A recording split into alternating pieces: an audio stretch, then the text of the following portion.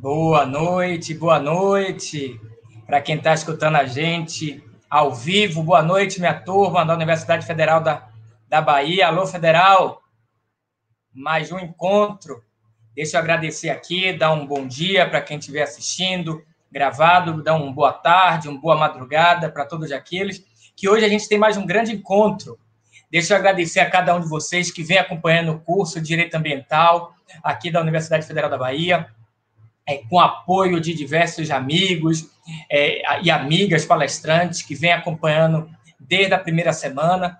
Agradecer a cada um de vocês. Hoje eu vou citar nome. Agradecer a Luciana, a Caroline, Suzana, Marcos, Ilmar, Renan, Lucas, que estão sempre aqui com a gente. É, aqui, do lado de cá, né? É, escreve aqui, dá seu boa noite, dá seu boa tarde, é, faz sua pergunta entendeu? Pedir para cada um de vocês, aqui a gente está utilizando a plataforma do YouTube, aqui tem uma tríade que quando a gente começa, eu estou vendo Evanildo, Evanildo, Albertone, também, aqui tem uma tríade no YouTube. Você tem que é, compartilhar o vídeo que você gostou, é compartilhar com amigo, compartilhar com amiga, compartilhar com inimigo, com a inimiga, para que eles mudem também, se transformem, entendeu? é, faz, compartilhar esse vídeo com cada um deles. É, dá o seu, seu, fazer seu comentário aqui embaixo, ó, fazer seu comentário. Então, faz o comentário, dá seu like, diz o que gostou, diz o que não gostou, entendeu? Pede para é, aprimorar em alguma coisa, é, diz o que achou legal, pô, professor, que iniciativa legal, é, faz um comentário, isso, isso é bom também para o canal, e não, então, é o comentar, o compartilhar e o se inscrever. E aqui, deixa eu aqui, aqui, tá vendo aqui esse cantinho? Aqui, tá vendo esse cantinho? Tá aparecendo aí uma logomarca, um, um, um mundo, né? Então, só é clicar nele que você se inscreve no canal. Então, clica aí, se inscreve e faz com que a gente consiga compartilhar conteúdo, compartilhar conhecimento com o maior número de pessoas possível, que é o que a gente tem feito aqui. Né? Já perdemos tempo demais vai dizer um grande amigo. Agora está na hora da gente correr atrás do tempo perdido, né? Nesse período de pandemia. Eu vou chamar aqui o Lucas. Lucas, mais um grande encontro. Nossa, um super encontro. Super encontro. A gente está super acostumado a interpretar a lei, né? E a imaginar como foi que o legislador, a mens legislatórios, trabalhou. E agora a gente vai estar diante do legislatórios, do nosso é, legislador. Você escutou o podcast? Escutei, muito bom, muito bom. Você, você achou o que do podcast? Você participou do podcast, o que, que você achou? Diz aí Não, Dê podcast, sua opinião. O podcast está fantástico, o podcast está famoso. Compartilhei bastante, o pessoal gostou muito. Inclusive, Deixa eu chamar o, tenho o alguns, Luciano alguns aqui também. Aqui. Luciano, está de máscara ainda, Luciano? É bom, deixa eu aproveitar a Luciana de máscara para dizer para vocês, é dar aqui minha solidariedade a quase 342 mil pessoas que faleceram com a Covid-19. Fazer, façam como o Luciano, ó, usem máscara, usem álcool em gel, é, evite aglomeração, evite estar saindo nesse período de pandemia, entendeu?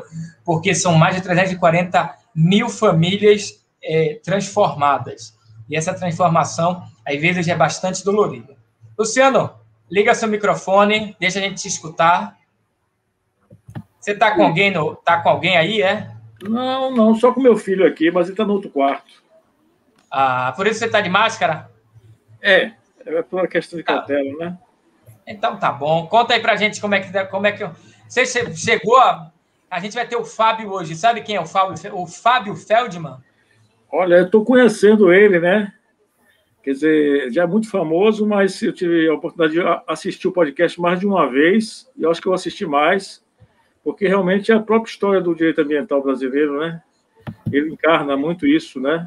Com a, com a sua história, né?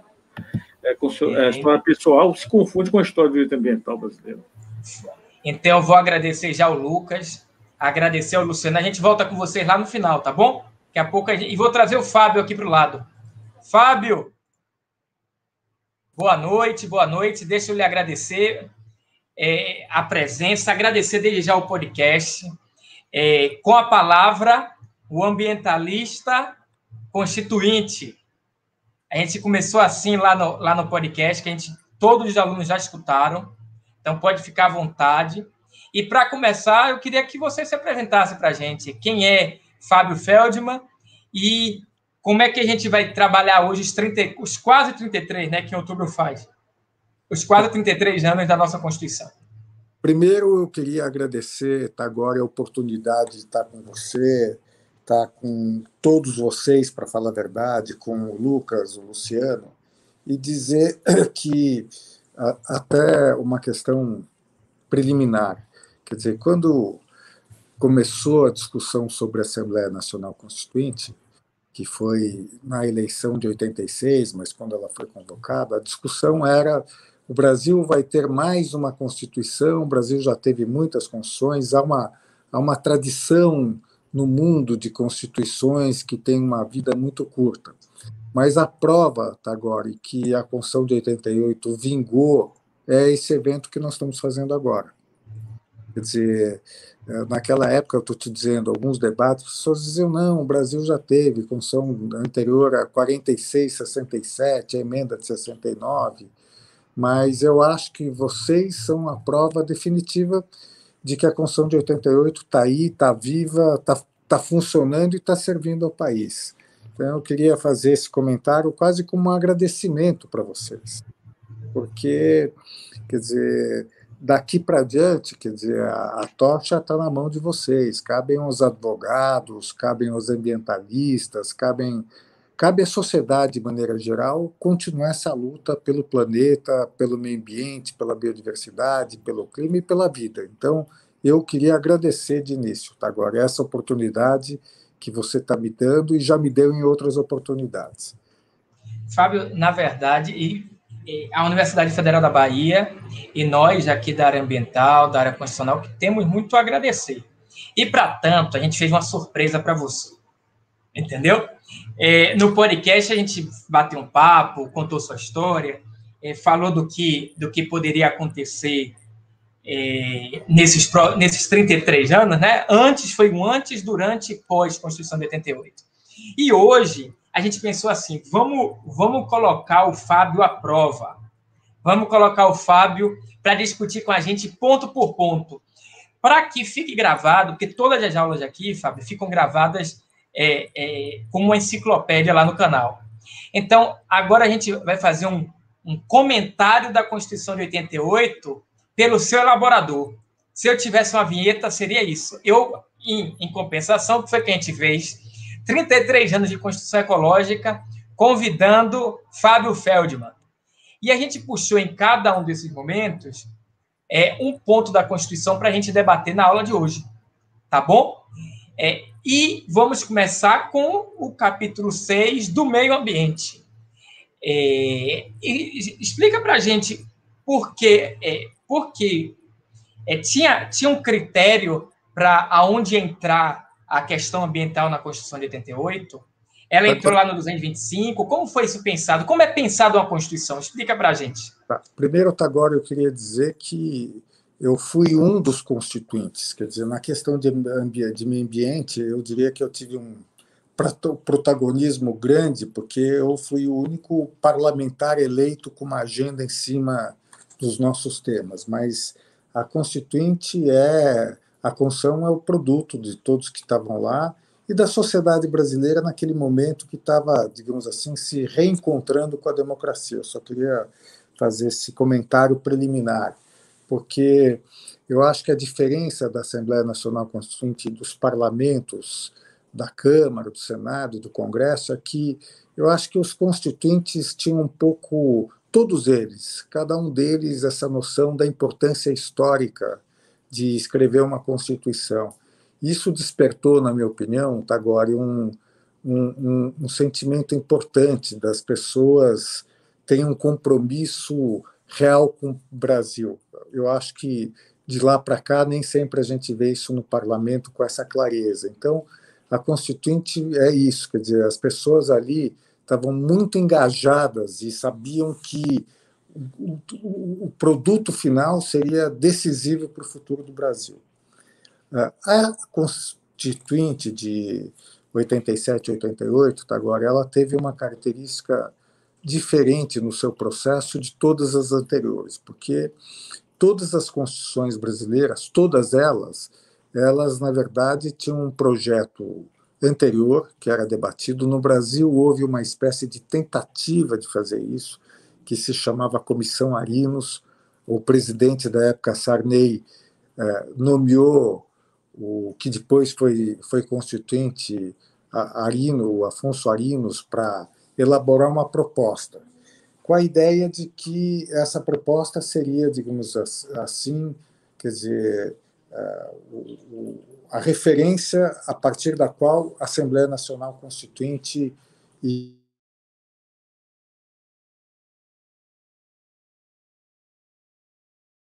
Constituinte, nós chegamos ali e foi um processo muito novo em que eh, se definiu um processo relativamente longo que começava com subcomissões, comissões temáticas, depois você ia para a comissão de sistematização e depois da comissão de sistematização ia para plenário. E aí, essa pergunta, Tagore, foi a primeira questão quando eu cheguei lá. Quer dizer, em qual nós que conhecemos meio ambiente, que sabemos que meio ambiente requer uma visão holística, onde que a gente ia se inserir nessa questão? Quer dizer, qual subcomissão? Quer dizer, qual comissão temática? E daí nós, na verdade, entramos numa subcomissão que era uma comissão interessante, que, para vocês terem ideia, era uma comissão que é meio ambiente, seguridade social, e meio ambiente, seguridade social e mais alguma questão que agora não consigo me lembrar. E aí que nós começamos a elaborar na verdade, o texto constitucional.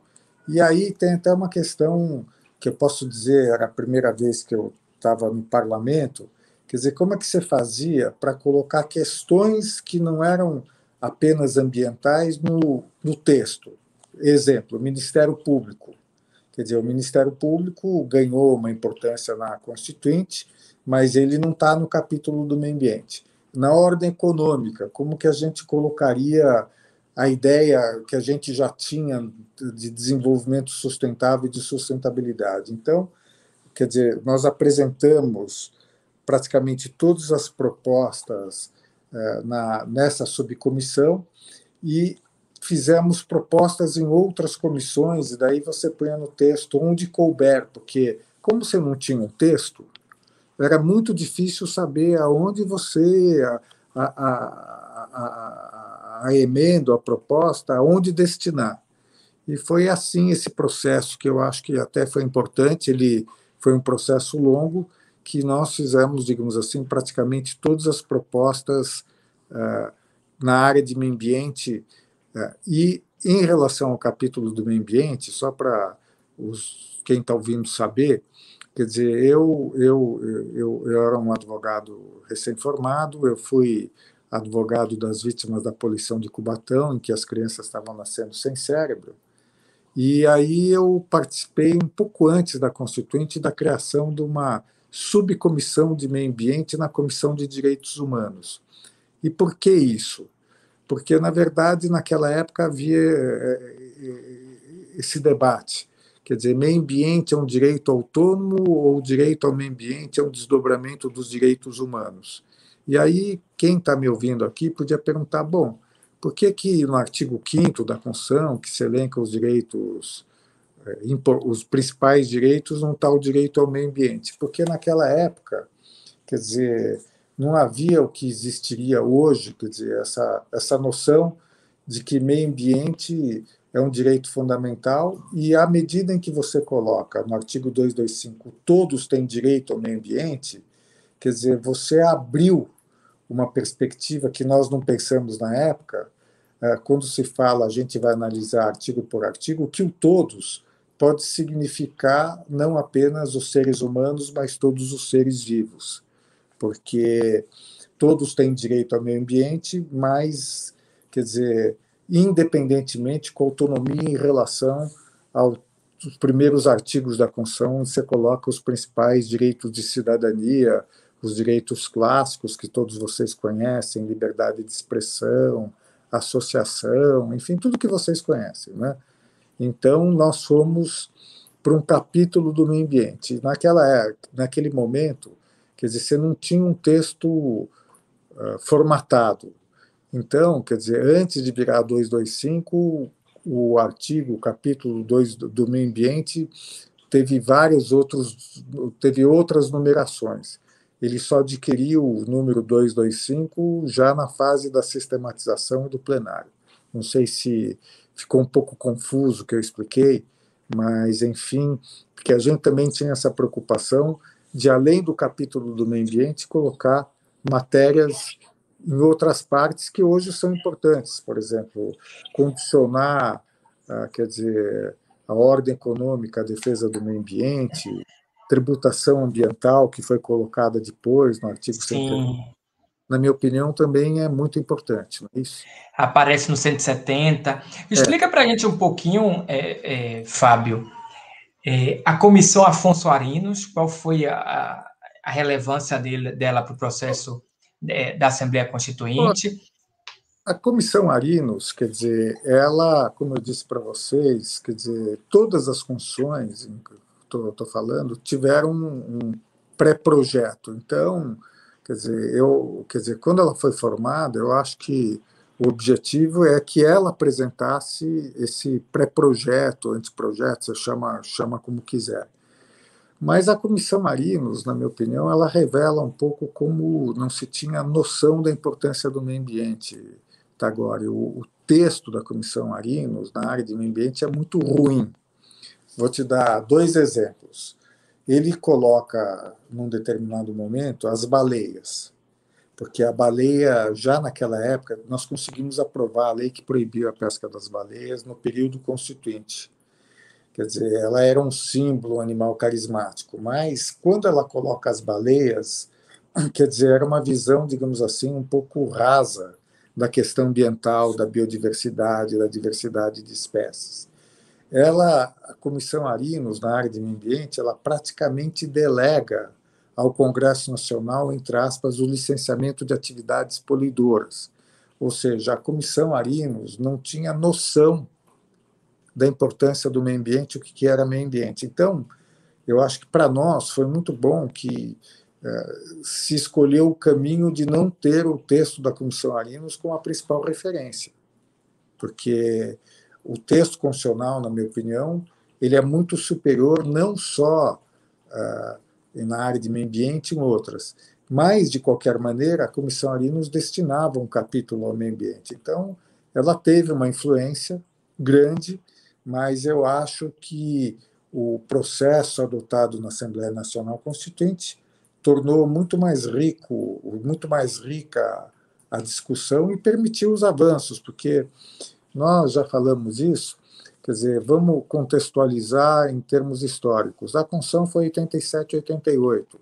Quer dizer, nós não tínhamos ainda nem a convocação da Conferência do Rio, o relatório Brundtland, que cunhou a ideia do desenvolvimento sustentável desse período, praticamente, de maneira que a grande referência da Constituição de 88 foi a Conferência de Estocolmo, que inclusive foi ali onde surge no mundo essa ideia de todos têm direito ao meio ambiente, quer dizer, isso tá, uh, isso é produto claro da Conferência do Rio. Mesmo a história do estudo de impacto ambiental, quer dizer, ele ele é colocado na Conferência do Rio e a Conferência do Rio se aproveita inclusive dessa legislação que surgiu nos Estados Unidos poucos meses antes da realização da Conferência do Rio. Então, eu, eu acho que a grande influência que nós tivemos foi das discussões havidas na Conferência de Estocolmo, que, de certa maneira, delinearam quer dizer, essa ideia de todos têm direito ao meio ambiente sadio equilibrado, pra, a ideia das presentes e futuras gerações. Quer dizer, isso é uma influência direta da Conferência de Estocolmo, que é de 72. Eu e tinha, a conferência. Eu eu Oi. tenho uma curiosidade sobre Estocolmo para lhe perguntar. Pelo Brasil, quem foi para Estocolmo? Essas pessoas que foram para Estocolmo, elas trouxeram é, um pouco dessa ideologia para as legislações da década de 80, trouxeram para a Constituição de 88?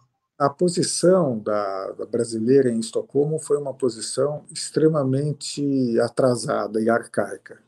Quer dizer, a, a, a delegação brasileira foi chefiada pelo general Costa Cavalcante, que e defendeu a posição que a pior poluição era a miséria. Quer dizer, e, e, e, e via e compreendia essa preocupação ambiental como uma espécie de conspiração contra o desenvolvimento e crescimento econômico dos países não industrializados. Essa foi a posição brasileira em Estocolmo, uma posição muito ruim, muito conservadora, apoiada por outros países em desenvolvimento.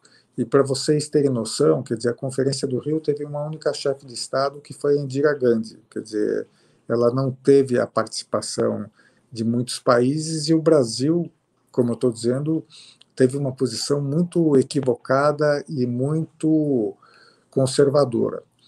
Mas, quer dizer, de certa maneira, ainda que, que a Conferência do Rio tem alguns produtos, e entre os produtos ela, é, ela é, digamos assim, ela orienta, porque é, as decisões das Nações Unidas não são vinculantes.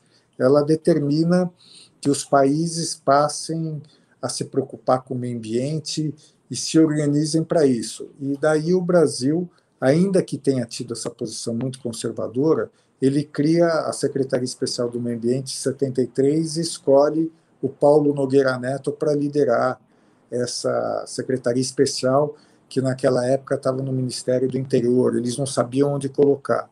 Mas a posição brasileira, quer dizer, ela se refletiu no modelo de desenvolvimento do Brasil, que é aquela coisa que todos nós conhecemos industrialização a qualquer custo, poluição é sinônimo de progresso, quer dizer, essa foi a posição brasileira e que refletiu claramente no Brasil, quer dizer, nas políticas públicas, ainda que em 81 o Paulo Nogueira Neto consiga aprovar no Congresso a, a Lei 6938, a Política Nacional do Meio Ambiente.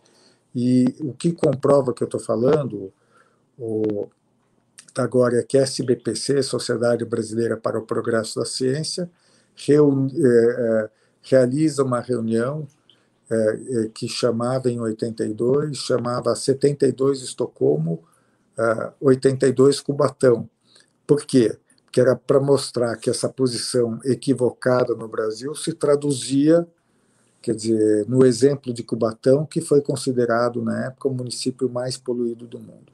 Quer dizer, Cubatão, era o município mais poluído, como eu disse, as crianças uh, nasciam anencefálicas, quer dizer, a poluição não tinha nenhum tipo de controle. Então, quer dizer, a posição brasileira foi muito criticada e o Brasil ficou, digamos assim, líder da, do atraso, líder da vanguarda, da, liderou o atraso. E só veio mudar de posição a partir da Constituinte, da Constituição, e com a realização da Rio 92 aqui no Brasil. Eu vou colocar então o, o slide para a gente ver e vou, com, vou começar com você aqui lhe perguntando aqui, Caput, artigo 225. Você já explicou para a gente como é que o todos poderia ser é, percebido hoje, como esse, essa, a cabeça do artigo 225 foi pensada como uma cláusula aberta. Eu vou por partes aqui, é, Fábio. É, todos têm direito ao meio ambiente ecologicamente equilibrado, bem de uso comum do povo e essencial à sadia qualidade de vida. Foi pensado é, por vocês em relacionar a questão ambiental com a, a questão é, da saúde humana, a questão da saúde da, dos demais seres, dos indivíduos? Qual foi o pensamento naquele momento? em colocar todos têm um direito ao meio ambiente ecologicamente equilibrado, um direito difuso, é, né, bem de uso comum do povo e essencial à sadia qualidade de vida. Que foi que se pensava naquela época sobre esse direito difuso que é o meio ambiente? O primeiro, agora, essa redação não foi exatamente a que nós propomos no primeiro momento, ela foi um pouco resultado da negociação. Porque parlamento, e mesmo na Constituinte, quer dizer, num, você faz uma proposta e, e acha que o bom parlamentar é aquele que tem capacidade de ouvir. Então, quer dizer, a nossa proposta não tinha exatamente essa redação que nem sempre eu achei que foi a melhor. Mas eu queria até fazer aproveitar a sua colocação para dizer o seguinte: até 88, toda a legislação ambiental brasileira ela foi editada com base no dispositivo da Constituição que falava em normas gerais de saúde. Quer dizer, é engraçado que a gente perdeu no tempo isso.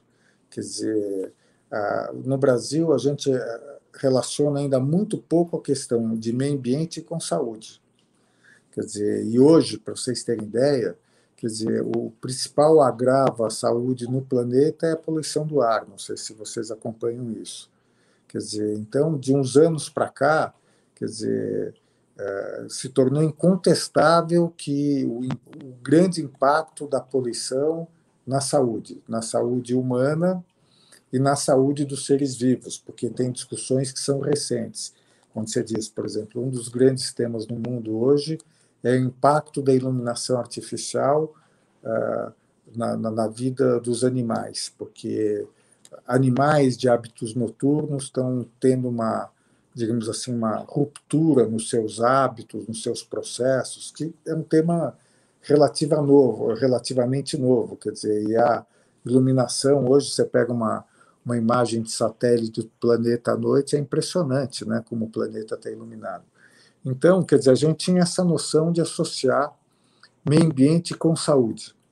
Mas eu quero dizer que, mesmo quando eu fui secretário de meio ambiente aqui em São Paulo, eu sempre tive muita dificuldade de engajar a área de saúde nos temas ambientais, porque eu estou falando de poluição do ar, mas eu posso falar de balneabilidade de praias, eu posso falar do impacto dos agrotóxicos e pesticidas na saúde, mas no texto a gente tinha essa preocupação com a saúde.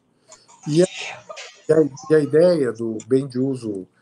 Uh, uh, bem, uso bem de uso comum do povo. Do povo, quer dizer, foi um pouco emprestada do Código Civil antigo de 1916, que é um pouco mostrar que meio ambiente, como você falou, ele, ele pertence a todos e meio ambiente não se confunde inclusive com as partes que o compõem. Quer dizer, você pode ser proprietário de uma floresta, mas você não, isso não lhe dá o direito de dizer que você uh, tem o direito que, que, que, esse direito se desdobra o direito ao, ao, meio ambiente. Então, a ideia do bem de uso comum do povo é mostrar essa natureza pública do meio ambiente, que pertence a todos e que talvez esteja mais evidente hoje na discussão de clima, quando a gente fala da atmosfera.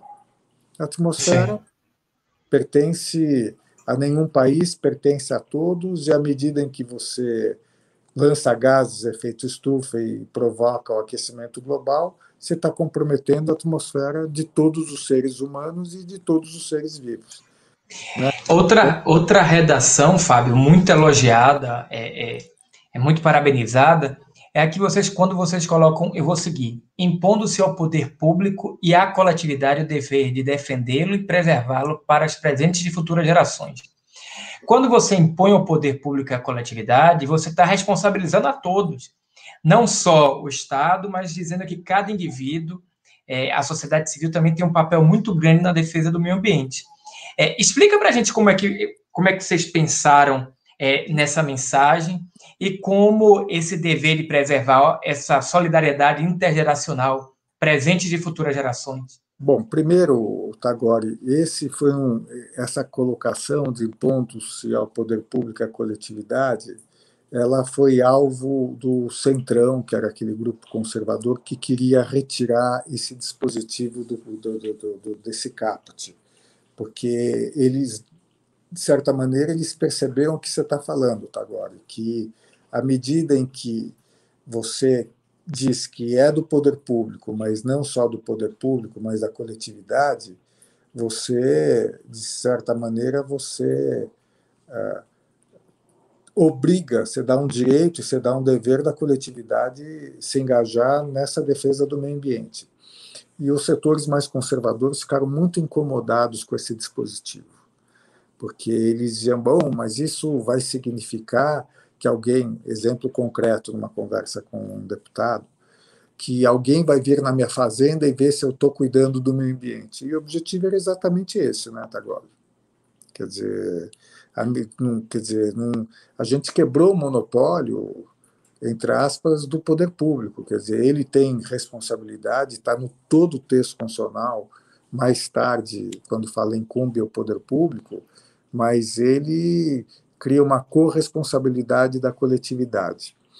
Em relação ao direito intergeneracional, eu, eu falo sempre isso, quer dizer, a grande contribuição do movimento ambientalista nesses últimos anos foi dizer, olha, eu tenho uma preocupação entre a desigualdade entre países, você tem países pobres, países ricos, dentro dos países ricos e pobres, eu tenho que encontrar um balanço, mas eu acho que o texto constitucional, quando ele fala as presentes e as futuras gerações, ele traz uma coisa que é muito importante, na minha opinião, que é exatamente o direito das futuras gerações, que não estava colocado no direito brasileiro e também a nível internacional foi colocado em Estocolmo e depois repetido nas convenções internacionais. É, isso começa lá em Estocolmo, né, Fábio? Isso a começa, solidariedade. É, isso começa em Estocolmo, porque antes de Estocolmo, quer dizer, eu, eu, o Tagore sabe, eu estou tentando acabar um livro sobre Constituição, mas não é um livro acadêmico. Quer dizer, você tinha muitas convenções internacionais sobre espécies ameaçadas, isso e aquilo, mas Estocolmo é o marco de discutir meio ambiente como nós pensamos hoje na dimensão planetária. E é Estocolmo que coloca a preocupação, preocupação com as futuras gerações, que já existe do ponto de vista ético, quer dizer, não é nova essa preocupação, mas Estocolmo coloca isso como uma preocupação que está, digamos assim, tem um caráter, é, para nós advogados, jurídico e legal, porque ainda que seja o que a gente chama de soft law, o direito internacional, quer dizer, a Declaração de Estocolmo, ela é direito, é direito internacional. E depois esses itens são reforçados aí com mais vigor quando nós tivemos as convenções, basicamente a Convenção das Nações Unidas de Mudança do Clima e de Diversidade Biológica. Mas no Brasil, quer dizer, foi o texto de 88 que colocou isso, olha, uh, quer dizer, não, não somos apenas nós, nós temos que nos preocupar com as futuras gerações. Quer dizer, que naquela época, agora, tinha mais sentido, não é mais sentido, porque, por exemplo, em 87, 88, nenhum de nós imaginaria, por exemplo, que o tema de mudança do clima ou a, a erosão da biodiversidade estivessem na agenda e tão presentes. A gente achava que, é, se eu estivesse conversando com vocês hoje, eu ia dizer: bom, estamos preocupados, o que vai acontecer daqui a 300, 400, 500 anos.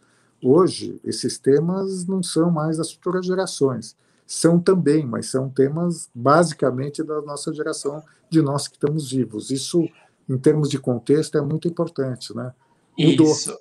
E para e tanto, vocês trazem sete incisos no primeiro parágrafo. É, vocês colocam lá, para assegurar a efetividade desse direito, incumbe, você falou no, lá no CAPT, ao poder público e à coletividade. E aqui você traz, incumbe o poder público, direcionando ao poder público. Primeiro, preservar e restaurar os processos ecológicos essenciais de promover o manejo ecológico das espécies e ecossistemas. Ou seja, a defesa da biodiversidade, né, né Fábio? Não, a defesa da biodiversidade, que depois é tratada num dispositivo lá na frente, a gente, eu já, já comentei isso com o Montagore, a gente usa a expressão diversidade genética, mas eu tenho uma explicação para isso. Quer dizer, para vocês terem ideia, em 80, a, a expressão biodiversidade ela foi cunhada em 1988 por um biólogo muito famoso chamado Edward Wilson. Quer dizer, não existia. Hoje você fala em biodiversidade, todo mundo sabe o que é. A expressão diversidade biológica foi cunhada por uma pessoa que conhece muito o Brasil, que é o Tom Lovejoy, também em 88. Então, a preocupação nesse dispositivo é biodiversidade mas agora com essa ideia de processos ecológicos essenciais. porque é, essa perspectiva. Explica para a gente o que é isso, explica para a gente, por favor. A, a preocupação, essa abordagem ecossistêmica, porque se a gente não coloca, por exemplo, processos ecológicos essenciais, vamos pensar em termos macro. Quer dizer, a, a construção mais adiante vai definir o Pantanal como patrimônio nacional. Mas, por exemplo, o Pantanal depende muito do que acontece nas cabeceiras dos rios que não estão no Pantanal. Então, você tem que ter uma visão de processo. Não sei se eu estou sendo claro. Quer dizer, não basta eu proteger o Pantanal se as cabeceiras dos rios que drenam para o Pantanal não estão protegidos. Não basta eu defender os mangues se eu, na verdade, não tiver uma visão de processo ecológico uh, nas quais, das quais dependem os mangues e dos mangues para a vida no, nos oceanos também. E hoje isso está muito mais evidente, na minha opinião, com a questão climática, porque hoje todos nós sabemos que o desmatamento da Amazônia ele compromete o ciclo hidrológico, inclusive eventualmente até o abastecimento de água na região sudeste. O que, que é isso? É uma visão de processo. Quer dizer, você tem que, quando cuidar do meio ambiente, ter uma visão de ecossistema e de processo de como esses ecossistemas interagem e como é que você trabalha com esses ecossistemas.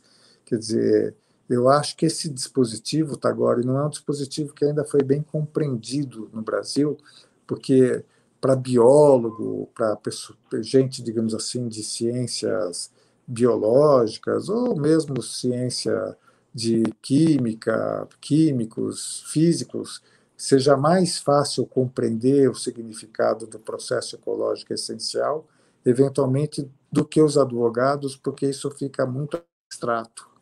Mas a ideia é que eu tenho que ter essa visão holística e essa abordagem uh, ecossistêmica uh, na definição de políticas públicas e de legislação. Não sei se Perfeito. Não, perfeito, perfeito. Eu, é, é minha, é, é, minha percepção também, viu, Fábio? No inciso segundo, a gente vai trazer assim: preservar a diversidade e a integridade do patrimônio genético do país e fiscalizar as entidades dedicadas à pesquisa e manipulação de material genético. É aqui que a gente, que a gente pode chamar que esse inciso segundo é o que nós tratamos sobre meio ambiente genético, patrimônio genético brasileiro?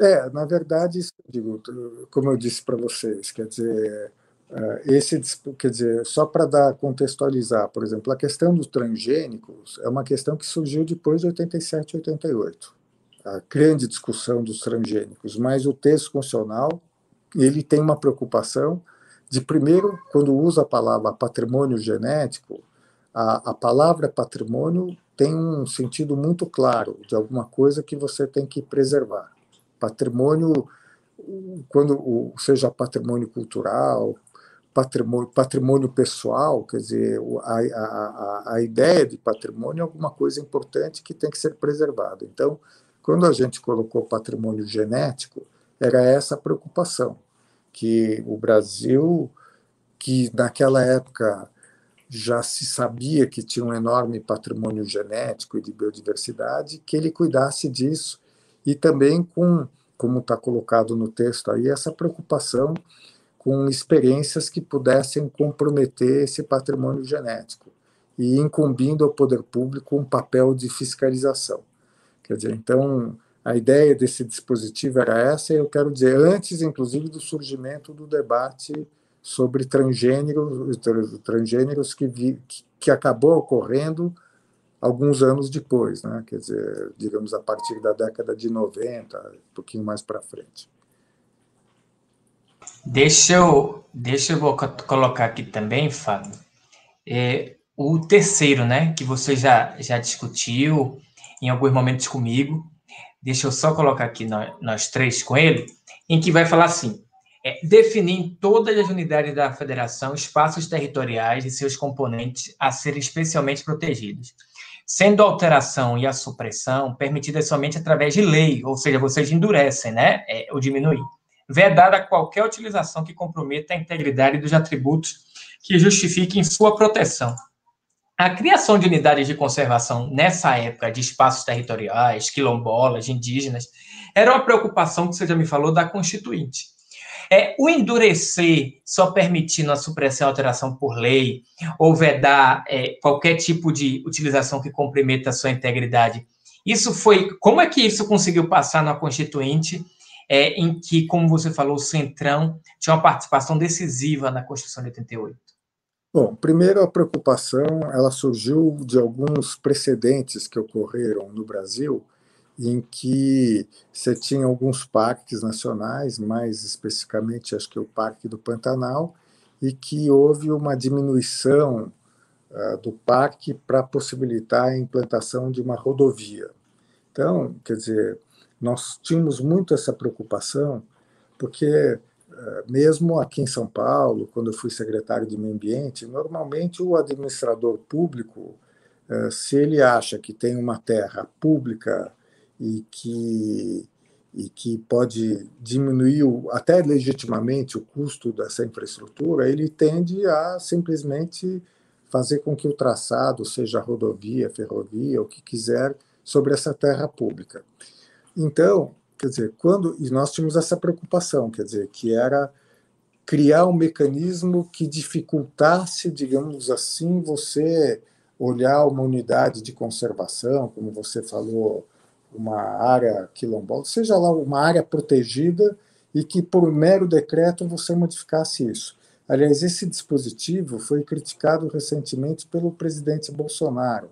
Bolsonaro tem um projeto, não sei se vocês acompanham, de transformar Angra dos Reis numa espécie de Cancún, e ele fez uma crítica a esse dispositivo, dizendo: eu não posso fazer isso porque a expressão que ele usou, loucos eh, puseram na Constituição que precisa de lei. E era exatamente o nosso objetivo. Quer dizer, fazer com que, eh, digamos assim, qualquer modificação numa área protegida se faça por lei. Com que premissa? Decreto é uma matéria exclusiva do executivo, decreto do presidente, governador ou prefeito, mas a lei exige um processo eh, digamos assim, mais participativo, inclusive de passar no legislativo. E mais recentemente, viu, Tagore, eu até tive no Supremo a pedido de algumas ONGs, quer dizer, o Supremo decidiu que esta modificação não pode ser feita por medida provisória, tem que ser feita por projeto de lei. E por que isso? Porque já houve casos de medida provisória mudando unidade de conservação para implantação de hidroelétrica, foi aprovado e a hidroelétrica não se implantou. Então, agora, o Supremo entende que é só por projeto de lei, mas o objetivo é muito claro, como se colocou, quer dizer, para você abrir mão de uma unidade de conservação, você tem que passar pelo processo legislativo, que supõe debate, no caso do, do, do, do, federal, tem que passar na Câmara, tem que passar no Senado, quer dizer, tem que haver debate para depois haver a sanção presidencial, quer dizer, cria e o que não tem sido muito observado no Brasil é a questão dos atributos. Quer dizer, em tese, você só pode modificar se você não comprometer os atributos. Infelizmente, nós não conseguimos, digamos assim, fazer com que essa parte desse dispositivo seja levada, digamos assim, eh, com mais rigor porque muitas vezes eu posso fazer uma mudança numa área protegida, vamos falar basicamente unidade de conservação, e com isso eu posso até comprometer um atributo. Então teria que ser. Conta um... para a gente o que é esse atributo, só para contextualizar. Atributo, vamos pegar uh, um parque. A Bahia criou aí uh, recentemente o parque que é da Boca da Onça, não é isso?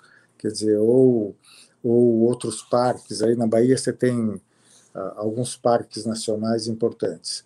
Quer dizer, quando você vai criar uma unidade de conservação, quer dizer, você tem que dizer, olha, eu estou criando essa unidade, quer dizer, eu estou criando um parque nacional, porque é essa parte do território ela tem uma porção da Mata Atlântica com fauna e flora que é muito importante, de maneira que isso justifica o poder público criar uma unidade de conservação. Você pode fazer isso também parques nacionais marinhos, como você tem em Fernando de Noronha. É, parque de Abrolhos, você tem área de proteção ambiental, que daí a propriedade permanece na mão do particular. Quer dizer, o, o, o, o executivo ele tem que motivar essa criação. E motivar a criação na área de meio ambiente é justificar porque que eu estou conferindo esta área, quer dizer, um status especial e uma natureza jurídica especial. Quer dizer, não, quer dizer, não, não, não é absolutamente discricionário isso. Eu tenho que motivar. E quando eu motivo, eu digo, olha, eu estou uh, criando, digamos assim, uma estação ecológica, estou uh, criando um parque, porque aqui tem, no caso do litoral, uma parte muito preservada, importante da Mata Atlântica, ou eu tenho uma parte muito importante da Amazônia, ou mesmo do Pantanal. Quer dizer, de maneira que, se eu motivo por que, eu estou criando, se eu pretender alterar, eu tenho que comprovar que eu não estou comprometendo, quer dizer, aqueles atributos que justificaram a criação. Não sei se eu. Perfeito, ficou é... ótimo. O, o Marcos não é Torres é... ele coloca aqui que é o Parque Nacional do Boqueirão da Onça. Que é, foi criado é, agora. Na dúvida, foi criado em acho que 2017 e 2018, não foi isso, Marcos? Foi. Eu vou trazer aqui, é, é, Fábio, mais um, que é o que você discutiu tanto no seu podcast quanto no início da aula, que é o, o parágrafo 1 inciso 4 que fala exigir na forma da lei para instalação de obra ou atividade potencialmente causadora de significativa degradação do meio ambiente, estudo prévio de impacto ambiental, ao que se dará publicidade. Esse aqui é um, é um clássico né, é, de nossa Constituição. E aqui eu tenho várias perguntas para você, viu, Fábio? Vou fazer, vou fazê-las logo. É, primeiro, você diz para a gente que não é qualquer atividade, né? É aquela potencialmente causadora de significativa degradação. Essa significativa degradação não deixou muito na mão do legislador para dizer o que é que degrada e o que não, não degrada? Isso é, é, é, é uma pergunta. E depois, você possibilita é, é, vocês, né, é, é, constituintes, possibilitam ali que toda atividade ambiental ela é de interesse público, então tem que se dar publicidade, né? Não existe sigilo ambiental, né? Que é outra coisa interessante que você coloca aqui. Não há sigilo ambiental. É, eu preciso licenciar é, instalações de obras e atividades. Só que o licenciamento não é, é uma grande é um grande calcanhar de Aquiles da área ambiental até hoje. Explica para mim essas perguntas que eu lhe fiz, por favor. Bom, primeiro, eu acho que esse é um dos grandes dispositivos de caráter instrumental e operacional do capítulo do meio ambiente. Por quê? Porque ele, na verdade, ele instrumentaliza tudo que está dito do capítulo do meio ambiente. E ele foi inspirado, como eu disse, na avaliação ambiental que surgiu nos Estados Unidos, que uh, surgiu na década de 70, quer dizer, essa obrigação de você buscar avaliar os impactos e até aqui no Brasil submeter ao debate e à participação pública esses impactos. Quer dizer, eu, eu acho que esse dispositivo é muito importante, talvez seja um dos mais importantes, porque ele instrumentaliza a sociedade e confere um, um caráter muito democrático, agora. Quer dizer, imagine vocês, eu vou dar exemplos: usina de Angra dos Reis, a usina hidroelétrica de Tucuruí, algumas rodovias como aqui a Rio Santos. Quer dizer, foram empreendimentos que foram implantados sem nenhum debate público e, e na minha opinião, quer dizer, isso gerou, inclusive, muitos problemas para esses empreendimentos. Angra, quer dizer, a localização de Angra hoje é quase que um consenso de que não, que é a localização é equivocada. Quer dizer, Tucuruí ou mesmo Balbina, Balbina é uma usina lá perto de Manaus, é considerada dos piores exemplos é, de é, área inundada e geração de energia. Tucuruí, quer dizer, você fazia projetos aqui no Brasil quer dizer, sem nenhum tipo de consulta e nenhuma preocupação ambiental ou socioambiental. Esse dispositivo, aliás, mais do que isso, quer dizer, quando se implantava hidroelétrica naquela época, o, aí, tanto o governo federal, mas aqui em São Paulo, praticamente o Estado se apoderava uh, de uma parte do território e ele administrava, viu, Tagore, até questões de briga de marido e mulher, quer dizer, a única presença do Estado era essa. Então, esse dispositivo, na minha opinião, ele é muito importante porque ele democratizou a tomada de decisão. Quer dizer, antes de tomar a decisão, antes do poder público tomar a decisão sobre um, empreendimento, seja público e privado, isso é importante, ele tem que avaliar e debater. E a palavra significativa é porque, quer dizer, é, ela exige que o legislador ordinário defina, na verdade, é, o que são impactos significativos ou não são. Inclusive, quer dizer, a Constituição é de 88, quer dizer, a, o que definiu a avaliação ambiental no Brasil é uma resolução de 1986 do CONAMA, que tratou dessa matéria. Então, quer dizer, eu e, e, e, e do ponto de vista legislativo, desde 88 que a gente está discutindo uma legislação para o Brasil, inclusive está tramitando no Congresso uma que chama Lei Geral de Licenciamento, que define as regras do licenciamento, o que é impacto significativo, quais são os critérios, quais não são. Para vocês terem ideia, o primeiro projeto eu apresentei em 88 e está lá na ordem do dia para ser votado.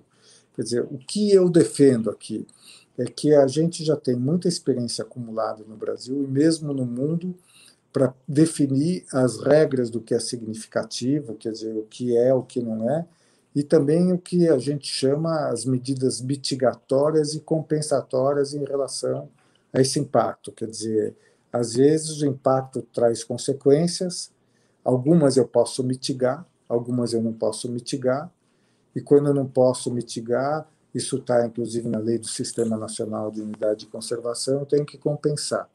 Agora, o Brasil aprendeu nesses últimos anos a fazer avaliação ambiental.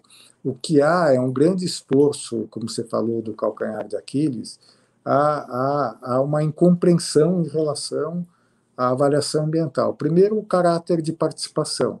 Quando você está agora uh, realiza audiência pública, submete a conselhos municipais e estaduais determinados empreendimentos, quer dizer, há sim a participação de vários atores da sociedade, e alguns concordam, alguns discordam, e muitas vezes você melhora o projeto.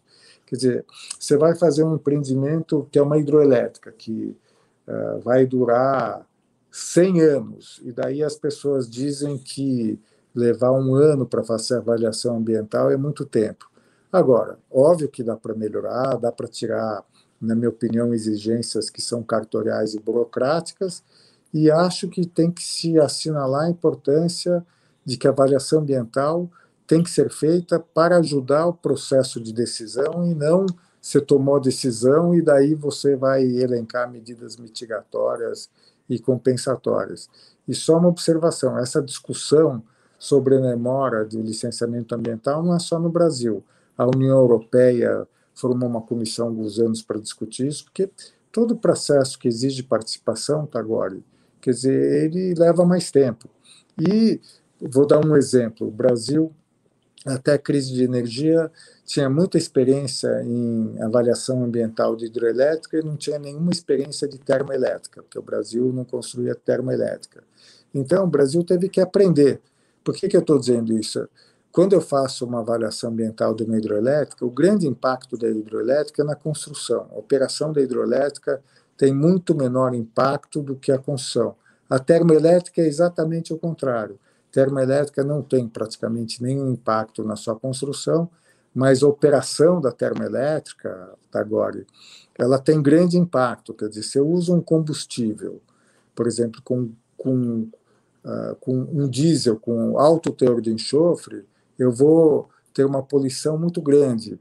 Quer dizer, como que eu opero? Então, Quer dizer, nós estamos aprendendo nesse processo de avaliação ambiental de licenciamento, que é mais importante de debater com a sociedade e tornar, inclusive, a audiência pública e todo esse processo é, decisório mais transparente e mais ágil também. Eu, Sim, vezes... vocês colocam, vocês colocam lá, dá publicidade sempre ao que está acontecendo, né? É, porque exatamente, quer dizer, quer dizer, a audiência pública está regulada no Brasil, a audiência ambiental, e daí o empreendedor tem que, na audiência pública, explicar detalhadamente do que trata o, o projeto, o que, que ele faz, o que, que ele deixa de fazer. Ele dá realmente. Ele, ele, ele, ele tem que informar. Então, isso é muito importante para ter o direito de participar. Vamos pensar no caso de Angra dos Reis.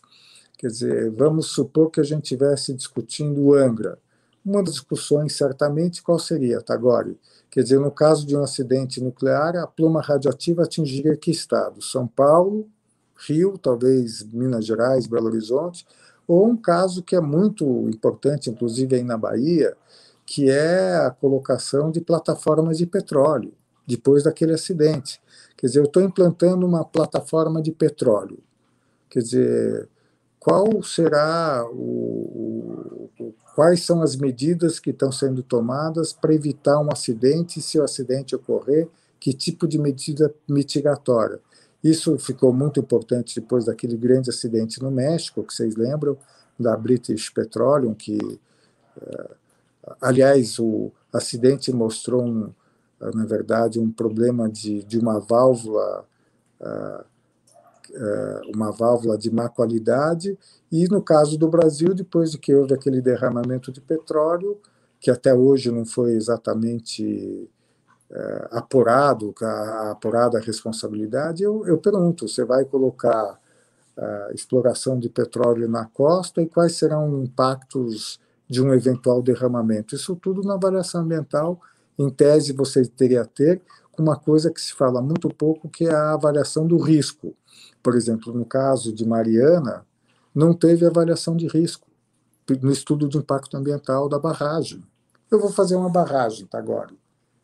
Tem que estar tá lá avaliação de risco com o direito da população saber para até ver se ela quer assumir esse risco ou não quer assumir esse risco. Vocês concordam comigo? Perfeito. Eu no inciso 4, Fábio, vamos falar um pouco sobre isso, que é controlar a produção, o inciso 5, desculpe Controlar a produção, a comercialização e emprego de técnicas, métodos e substâncias que comportem risco para a vida, a qualidade de vida e o meio ambiente. É, esse debate é um pouco o que você estava falando?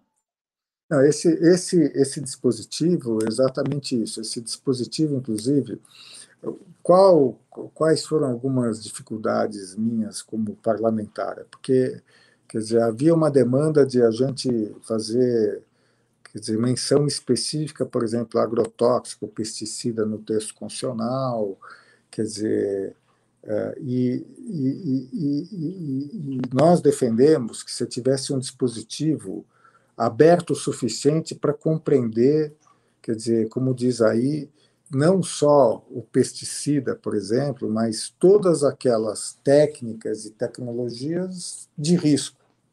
Quer dizer, foi com base nesse dispositivo que houve toda a discussão do transgênico, porque o transgênico se enquadra exatamente nesse dispositivo. O do estudo de impacto ambiental, como você falou, uh, aliás, uh, nós tentamos colocar uh, naquele dispositivo que planos governamentais, porque às vezes um plano governamental tem enorme impacto. E até vou dar um exemplo, quer dizer, você você coloca no mercado, tinha uma época aqui em São Paulo, mil automóveis por dia. O certo é você fazer um estudo de impacto ambiental, quer dizer, do ingresso de mil automóveis na cidade de São Paulo do ponto de vista de poluição. Então, a gente queria tirar um pouco a ideia do estudo de impacto ambiental apenas para obra. Quer dizer, a gente queria que o estudo de impacto ambiental fosse mais abrangente, quase que numa ideia do que hoje a gente chama de avaliação ambiental estratégica. Esse dispositivo que nós estamos discutindo agora, ele é exatamente aberto o suficiente para dar condições do poder público efetivamente ter um papel relevante no controle, que aqui é controle mesmo, quer dizer, eu estou produzindo pesticida, eu estou, quer dizer, colocando no mercado transgênico, eu estou colocando, por exemplo, no mercado baterias com metal pesado, quer dizer, a ideia dele era ser bastante abrangente e a palavra controle aqui, ela, ela é usada nessa acepção que eu diria bastante ampla. E como eu disse, quer dizer... É... E atual, né, Fábio? E atual, e atual também, né? E atual, quer dizer, então, quer dizer, é, essa era a ideia, de você dotar o poder público de, do, do direito, de um lado, da faculdade, e do dever de controlar exatamente isso que nós estamos falando, entendeu? Outro, outro inciso, que é o, é o, sexto, ele vai falar promoção da educação ambiental em todos os níveis de ensino e a conscientização pública para a preservação do meio ambiente. Isso é o que a gente trabalha como é, educação ambiental transversal, transdisciplinar. Como é que vocês pensaram é, esse processo de educação ambiental e conseguiram inserir ele na Constituição, que é o mais importante? Isso é bem é. interessante. Esse dispositivo é daqueles que eu, às vezes, eu lamento que o Brasil não, não, não levou a sério, porque, quer dizer, imagina, a Constituição é de 88, concorda? Nós estamos em 2021, quer dizer, se o Brasil tivesse levado a sério a educação ambiental, certamente nós teríamos pessoas uh, de 30 anos uh, ou menos totalmente uh, conscientes do que, que nós estamos falando nesse, nesse nosso bate-papo, não é isso? Quer dizer, acho que o Brasil não, não levou a sério esse dispositivo. Depois, nós aprovamos uma lei chamada Política Nacional de Educação Ambiental, que inclusive resolveu a grande polêmica que existia à época. A grande polêmica à época era o seguinte: vamos criar uma cadeira, tinha várias iniciativas legislativas de educação ambiental. E nós tínhamos uma posição muito crítica a isso, porque nós tínhamos receio que a educação ambiental fosse uma espécie de moral e cívica, que era obrigatória quando eu, quando, quando eu era estudante, adolescente. Então, vem a lei que chama Política Nacional de Educação Ambiental, que ela, inclusive, define os critérios e as referências para a educação ambiental. Inclusive, ela coloca como elemento importante na educação ambiental valores democráticos, coisas que hoje no Brasil têm muita relevância, que talvez naquela época, a lei é de 99, elas não fossem tão perceptíveis. Quer dizer, essa visão holística da educação ambiental, quer dizer, e em todos os níveis de ensino, concordo, por exemplo, Agora está na moda o ESG, que é Environmental Social, uh, Environmental Social Governance, quer dizer, que teria que estar em todas as escolas de administração pública, mesmo nas escolas de direito, né, Tagore? Porque quando você vai estudar direito empresarial, seria importante essa dimensão que nós estamos falando aqui. Tá? Mas acho que o Brasil uh, não não compreendeu a importância desse dispositivo no sentido de formar uma geração, apesar de que vocês são exceção, quer dizer, quem está nesse tá aqui nesse bate-papo é uma exceção, são uma exceção.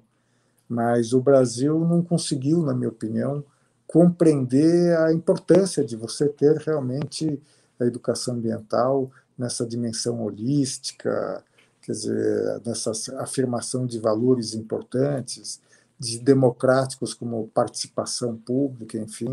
Então, esse dispositivo, eu acho que ele é importante, ele foi regulamentado uh, por uma lei federal e alguns estados também têm políticas estaduais, mas eu acho que tem muito pouca muito ainda tem pouco conteúdo operacional nos programas de educação ambiental no Brasil. o inciso que vem agora, o sétimo, é muito, é, foi muito discutido por nós animalistas, porque é aqui que a gente vai encontrar a proteção da fauna e flora, vedada na forma da lei, as práticas que coloquem em risco sua função ecológica, provoquem extinção da espécie ou submeta os animais à crueldade. Esse talvez seja um dos incisos mais discutidos pelo Supremo Tribunal Federal, em que tem mais decisões, inclusive uma emenda que discute ele, que a gente vai ver um pouco mais lá na frente ou se você quiser, a gente pode fazer até os dois agora logo, é, é, é a emenda que, que vai modificar a interpretação desse inciso. É, conta para a gente é, qual, foi, qual foi a percepção de vocês. É, será que 33 anos depois da promulgação da Constituição, a interpretação que está se dando a esse dispositivo foi aquela pensada lá pelo Constituinte? Não, quer dizer, aí, quer dizer, nós propusemos esse dispositivo e eu já falei muitas vezes que nós não tínhamos colocado a questão da crueldade. Quer dizer, a ideia, como está colocando aí, esse dispositivo está um pouco ligado aos processos ecológicos essenciais, porque fauna e flora são interdependentes. E, aliás, eu tenho comentado muitas vezes, quer dizer, às vezes eu vejo uh, discussão sobre código florestal, ou mesmo uh, uh, unidade de conservação, que eu acho que às vezes no Brasil você fala muito da, da, da, vegetação da floresta, esquece que floresta, quer dizer, significa uma interdependência, uma interação de fauna e flora, de micro-organismos no solo, enfim. Então, quer dizer, esse dispositivo estava ligado àquele anterior, e aí eu sempre contei que surge a farra do boi em Santa Catarina. E daí nós percebemos que simplesmente nós não tínhamos atentado para a questão é, de garantir que os animais não sofram nenhum tipo de crueldade. Quer dizer, então acabamos colocando isso já, quer dizer, se olhar as propostas das subcomissões, o texto da comissão de sistematização, esse dispositivo não estava. E eu acho que ele se tornou um dos dispositivos, como você falou tá agora, mais importantes, porque o tema de respeito aos animais, essa ideia dos direitos dos animais, é um tema que ganhou uma importância no Brasil e no mundo nos últimos 30 anos. Quer dizer, nos últimos 30 anos há um movimento, não é isso? Da sociedade de maneira geral de reconhecer os direitos dos animais, o direito à dignidade, enfim, tudo que vocês conhecem melhor do que eu, hoje é um movimento que não é só no Brasil. E eu falo que havia dificuldades naquela época, porque eu apresentei dois projetos que foram derrotados. Um deles era a proibição da farra do boi, eh, era um projeto de lei que passou na Câmara e foi derrotado no Senado por força da bancada de Santa Catarina. E aqui eu sempre digo que, na verdade, ainda hoje, quando a gente debate essas questões, tem muita gente que justifica a emenda constitucional em termos de manifestações culturais que têm que ser preservadas. E o acórdão que trata da farra do boi é um acordo que abordam isso. Então, na época da Constituinte, houve essa discussão, porque muita gente defendia a farra do boi. Olha, é uma tradição açoriana, tem que respeitar.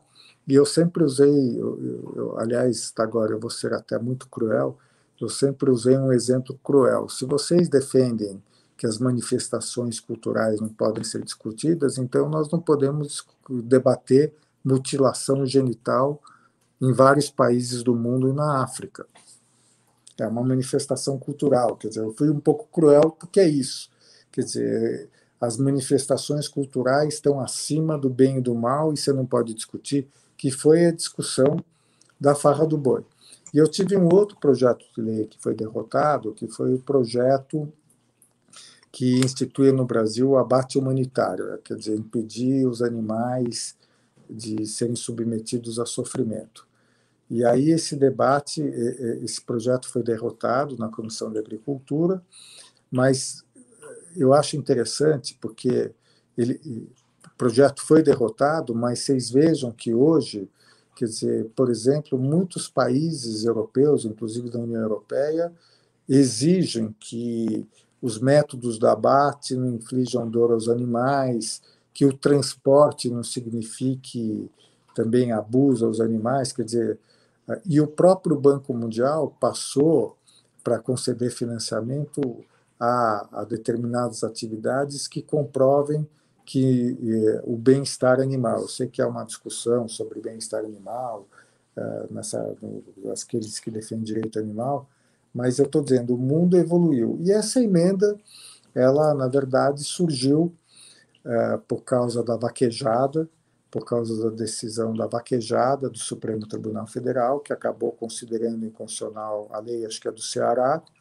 e basicamente a, a bancada do Nordeste. Eu vou colocar ela logo aqui, então. É, ela aqui, ó, só para só a gente trabalhar logo ela, então, que é o parágrafo sétimo, né? Só tinha seis parágrafos, foi incluído em 2017 é, pela emenda 96, dizendo assim, Fábio, para fim do disposto da parte final do inciso sétimo, aquele submeta animais à crueldade, é, não se considera cruéis as práticas desportivas que utilizem animais, desde que sejam manifestações culturais, conforme o parágrafo 1 do artigo 215 da cultura, que você falou, registradas como bem de natureza imaterial integrante do patrimônio cultural brasileiro, devendo ser regulamentadas por leis por lei específica que assegure o bem-estar dos animais envolvidos. Deixa eu escutar seu comentário sobre essa emenda. Então, ela surgiu por causa da decisão do Supremo e houve uma mobilização até regional, viu, Tagore, do Nordeste, porque, quer dizer, o, muitos parlamentares nordestinos se sentiram ofendidos e, e tem até questões econômicas, porque é como o rodeio. O rodeio hoje é uma atividade econômica importante, quer dizer, em algumas regiões aqui, o rodeio de Barretos mobiliza milhares de pessoas e turistas, tem uma, entre aspas, cadeia econômica. E a vaquejada também. A vaquejada, quer dizer, hoje ela é uma manifestação cultural, mas que está associada, digamos assim, a, a atividades econômicas em muitos municípios e muitas regiões. Então, é, essa, eu conversei com alguns parlamentares quando estava tramitando essa emenda e eles achavam que eu estava ligando, incrível que pareça, que é coisa de paulista que não contém a capacidade de compreender uma manifestação cultural regional. Que eu, pessoalmente, acho que é um grande equívoco, mas estou contando para vocês. E logo depois que foi aprovada essa emenda, que criou um problema e está sendo debatido no Supremo Tribunal Federal, quer dizer, há uma lei federal que diz que a vaquejada é manifestação cultural.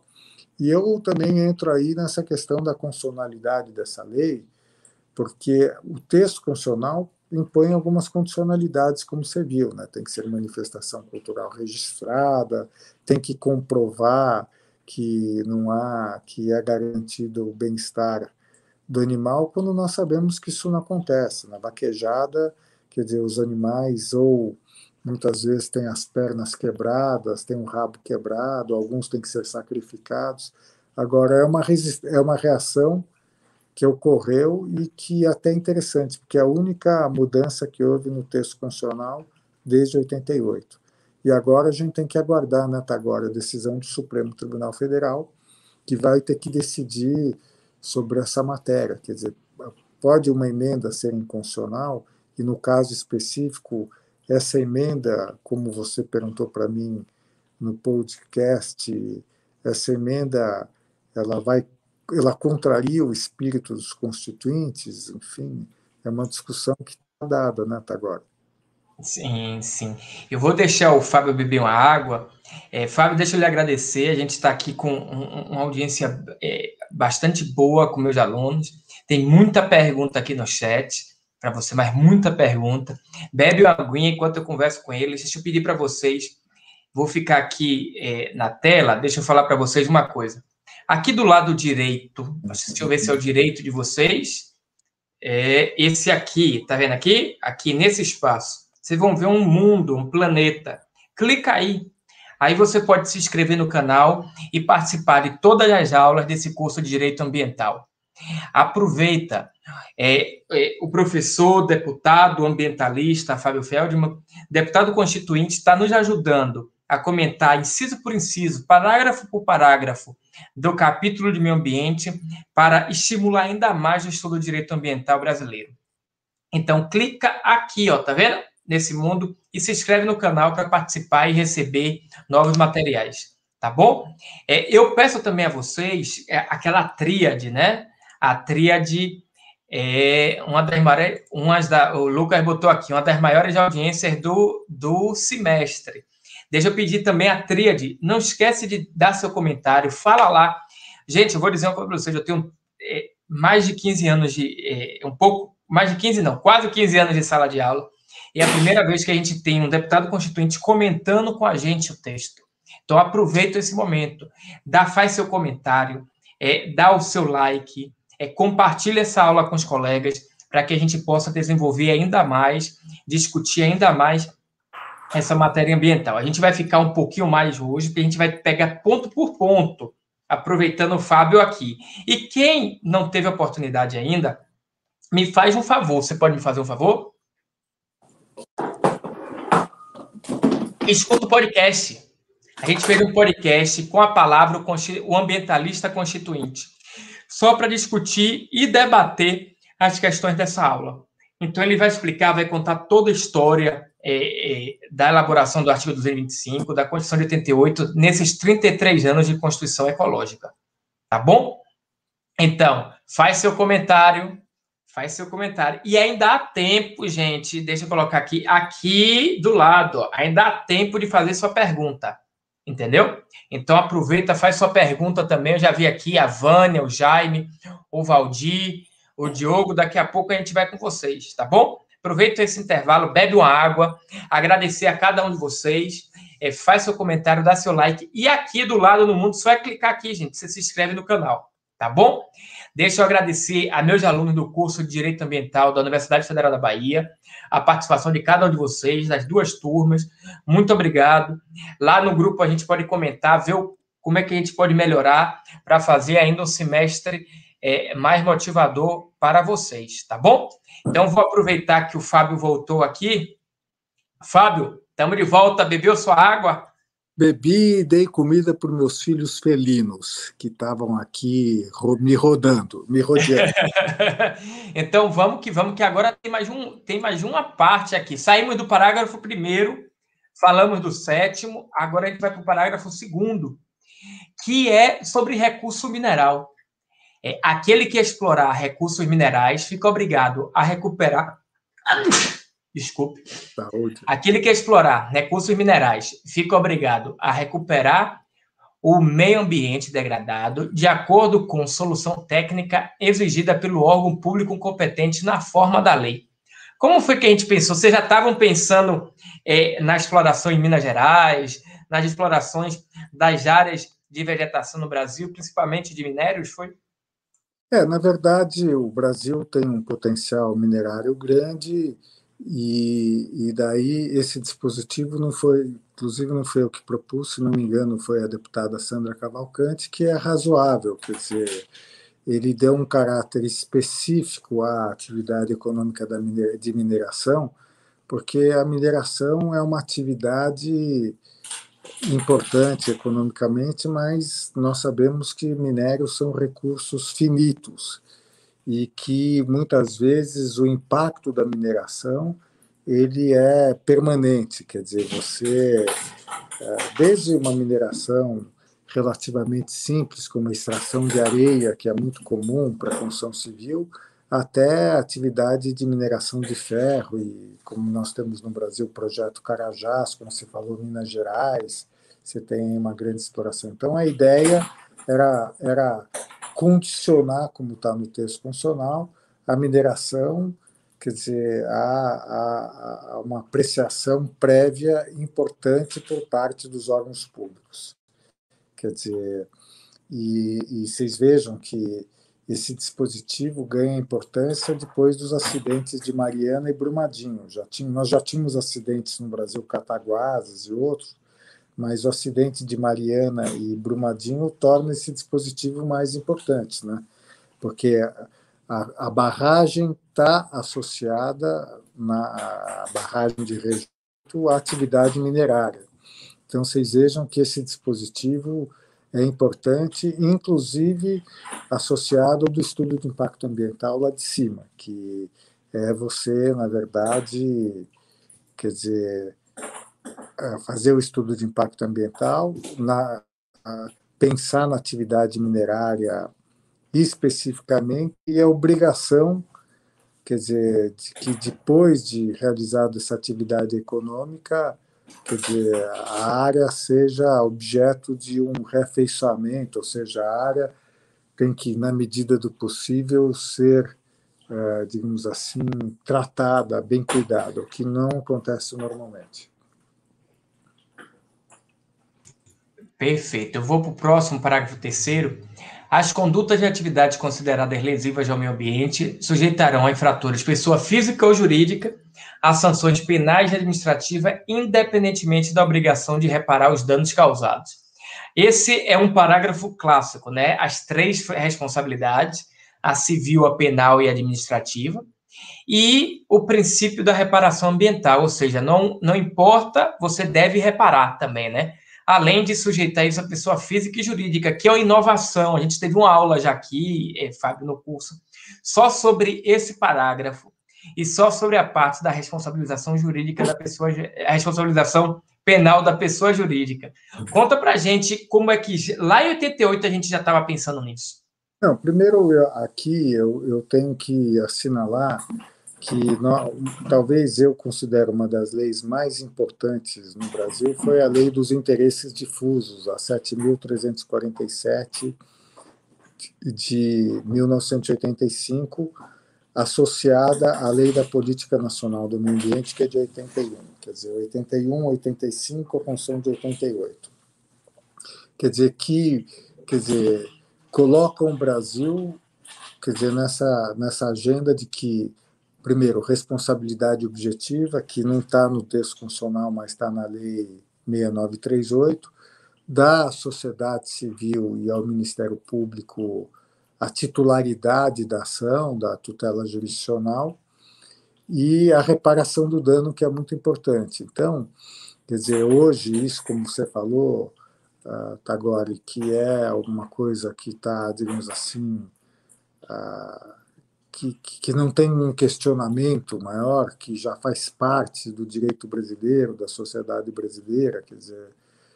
Naquela época, era uma questão que estava sendo colocada poucos anos antes. Eu acho que o texto constitucional ele vem e ele dá, digamos assim, ele constitucionaliza esses avanços que ocorreram em 81, Uh, em 85, com a Lei dos Interesses Difusos, daí mais especificamente no dispositivo que trata do Ministério Público, não é isso? Quer dizer, e, na minha opinião, abriu o Poder Judiciário para as nossas questões.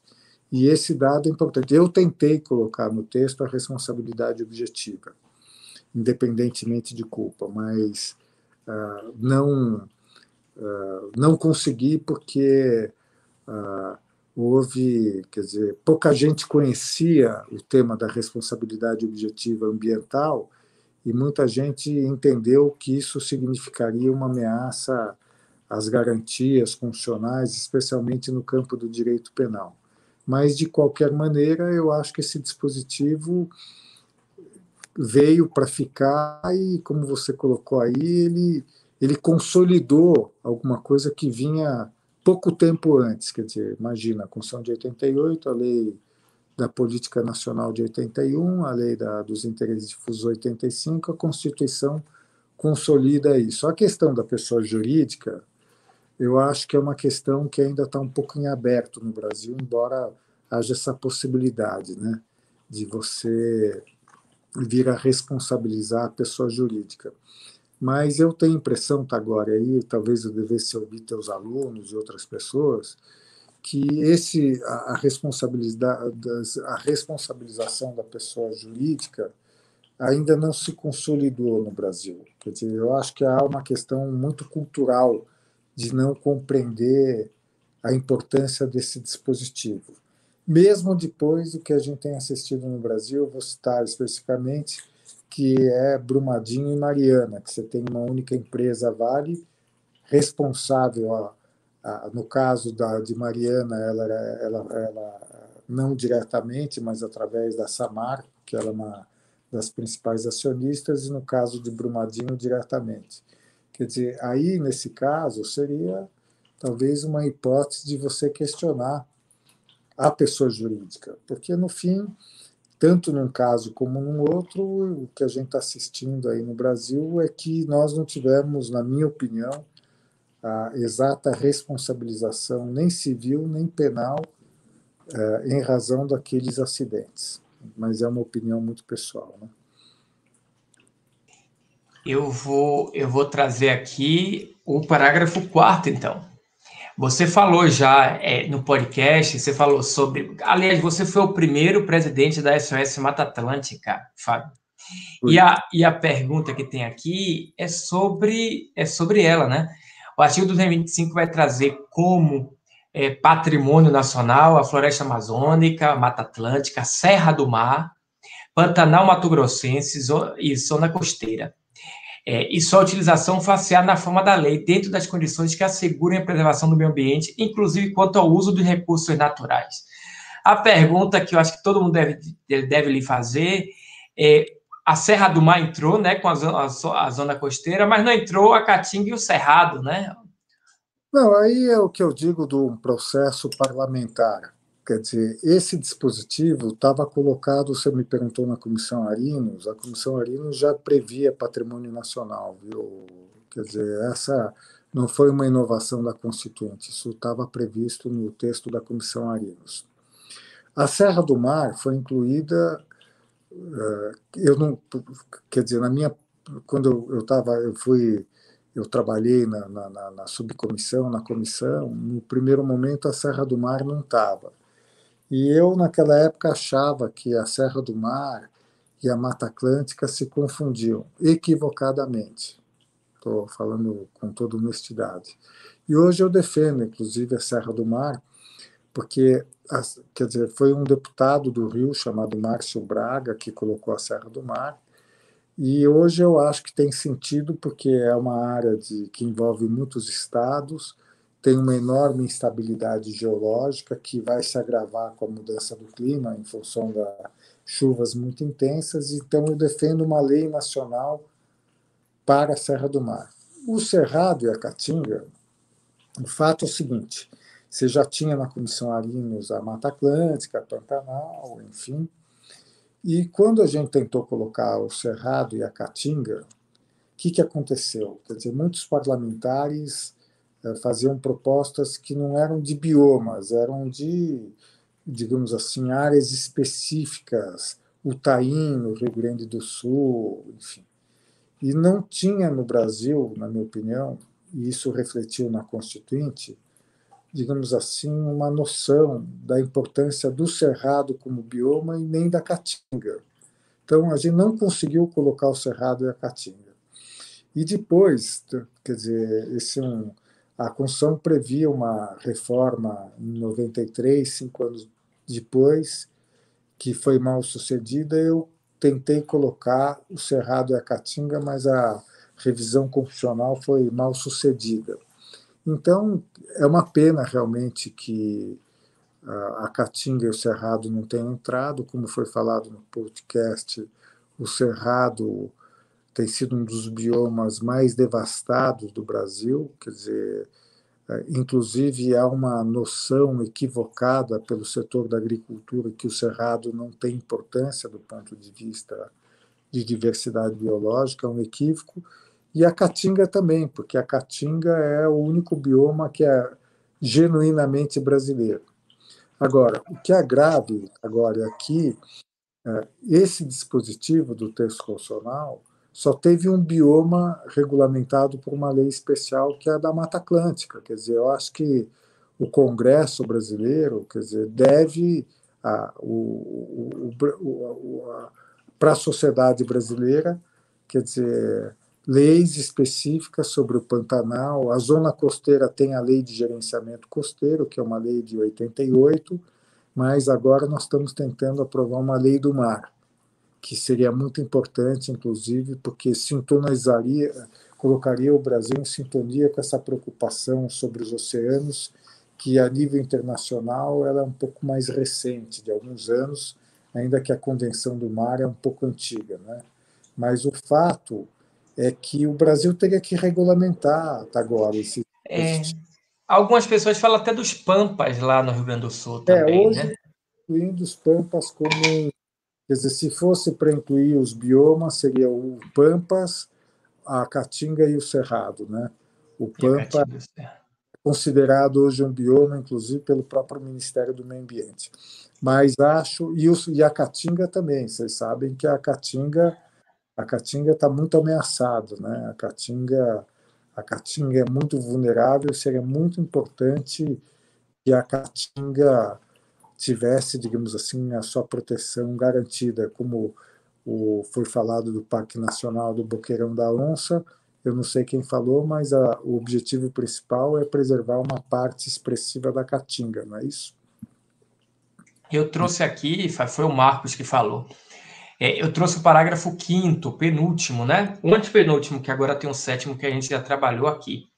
Ele vai falar aqui: são indisponíveis as terras devolutas, é, indisponíveis as terras devolutas ou arrecadadas pelo Estado por ações discriminatórias necessárias à proteção dos ecossistemas naturais.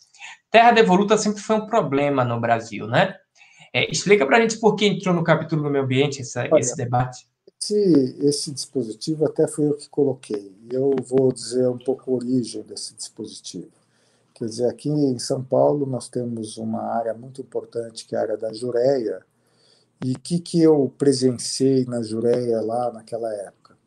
Que às vezes você tem áreas, como você falou, que são terras públicas ou terras devolutas, e que o Estado é um péssimo zelador. Muitas vezes, ao não cuidar das áreas, isso acontece hoje claramente em toda a Amazônia brasileira, não é isso?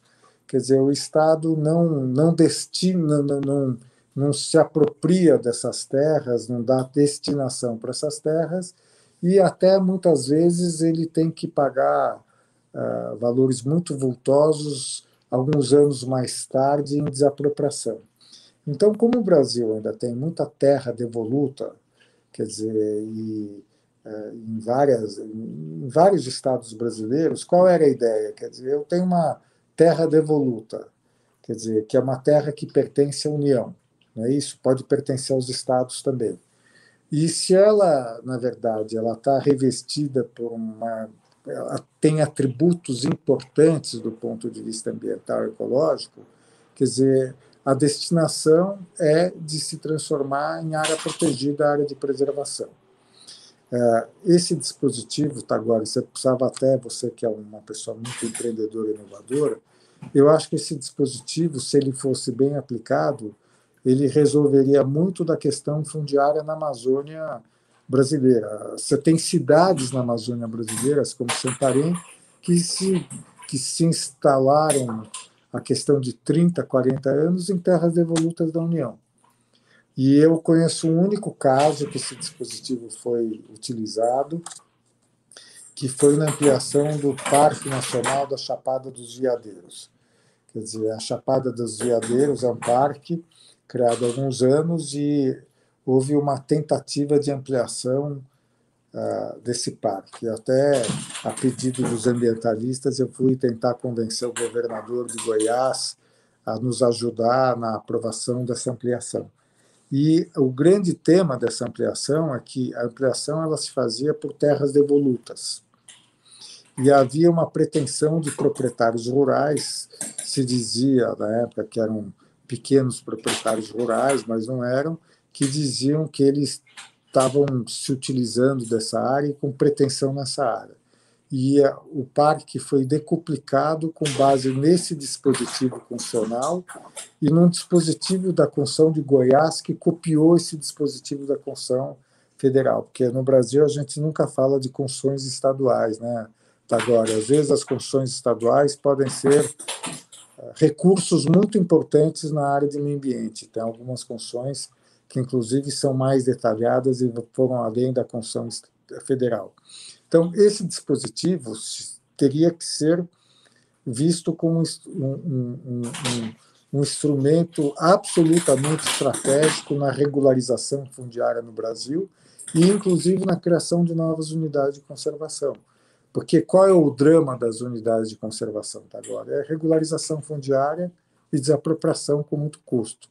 Com o uso desse dispositivo, você resolve isso. Se a terra é devoluta e tem uma destinação constitucional, o problema da regularização fundiária se resolve por aí.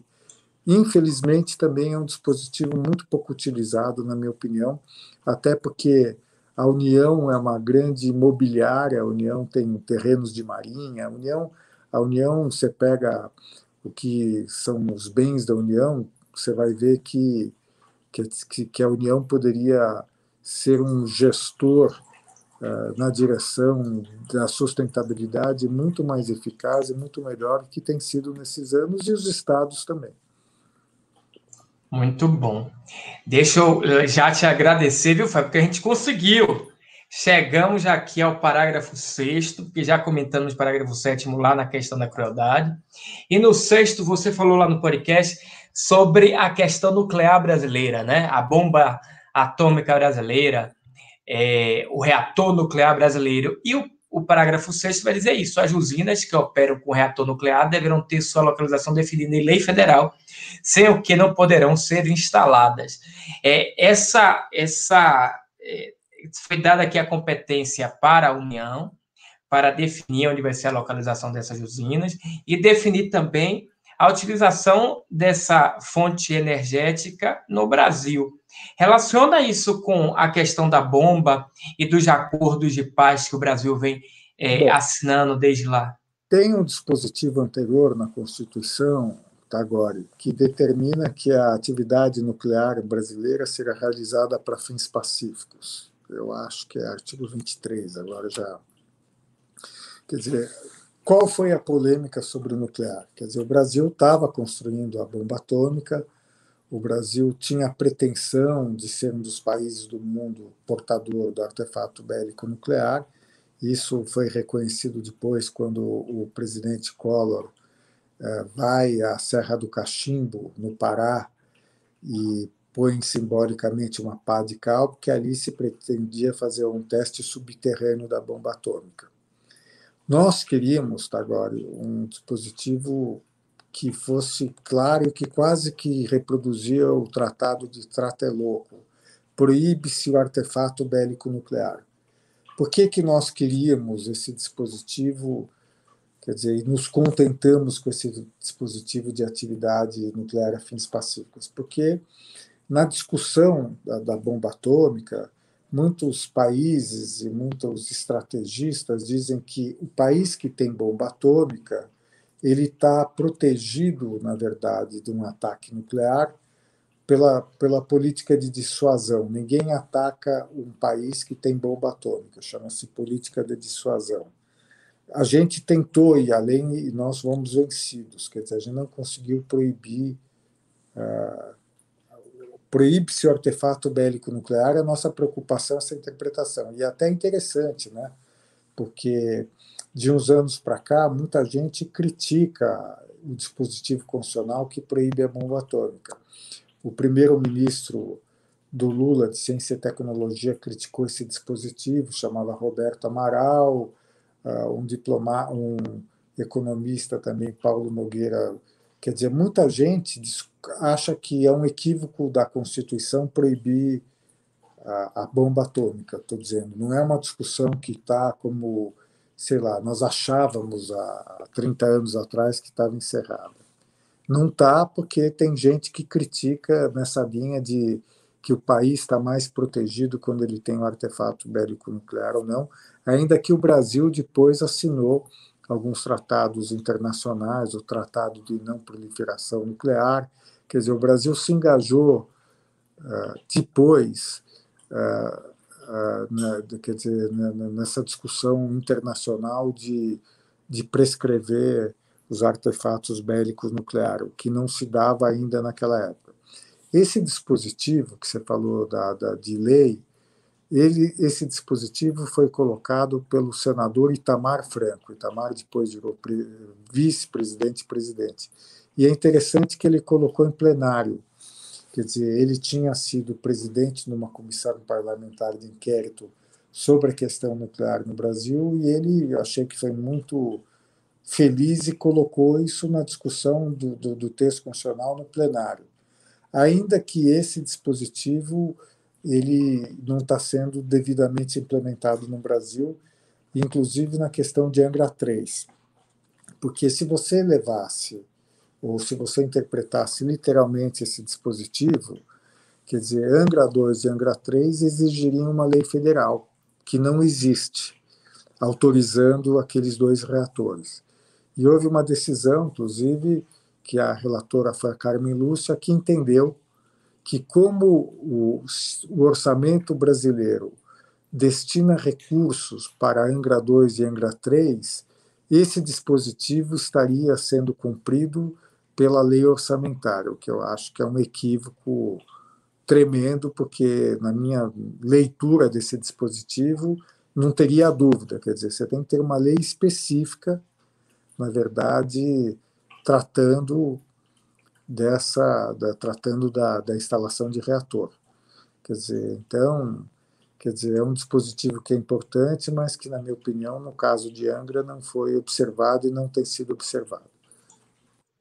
Fábio, deixa eu lhe agradecer. Eu vou chamar o Lucas aqui para. Deixa eu tirar aqui a apresentação.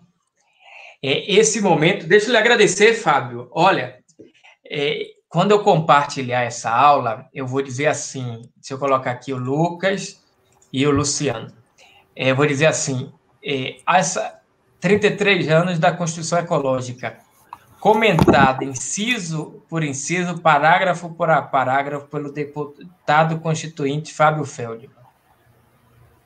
Deixa eu lhe agradecer, porque a gente fez ponto por ponto e, conseguimos. a gente estava aqui preocupado se a gente ia conseguir fechar, mas fechamos. E para você ver como foi, eu vou eu vou passar a palavra para o Lucas, para Lucas começar a mostrar quantas perguntas já chegaram aqui até agora. Lucas, por favor. É, nós temos muitas perguntas aqui, além dos, dos agradecimentos, nós temos umas oito perguntas, oito a sete perguntas. É bastante pergunta. É, então, já posso fazer as perguntas? Vamos lá. É, doutor Fábio, a primeira pergunta é do Diogo Lopes. Ele indaga o seguinte: como o senhor analisa a redução gradual realizada pelo poder público nas últimas três gestões presidenciais da verba de proteção ao meio ambiente? E aí, em seguida, se me permite, já passar para a segunda pergunta, porque ela é bem relacionada. É do Ilmar Moura, ele diz o seguinte: é possível proteger o texto constitucional de retrocessos na área ambiental, dada a força demonstrada por bancadas temáticas que muitas vezes agem contra o meio ambiente? Se o senhor quiser, fique à vontade que eu repito. Primeiro, Todas as perguntas estão na tela, viu, Fábio? Se você tiver eu, alguma dúvida.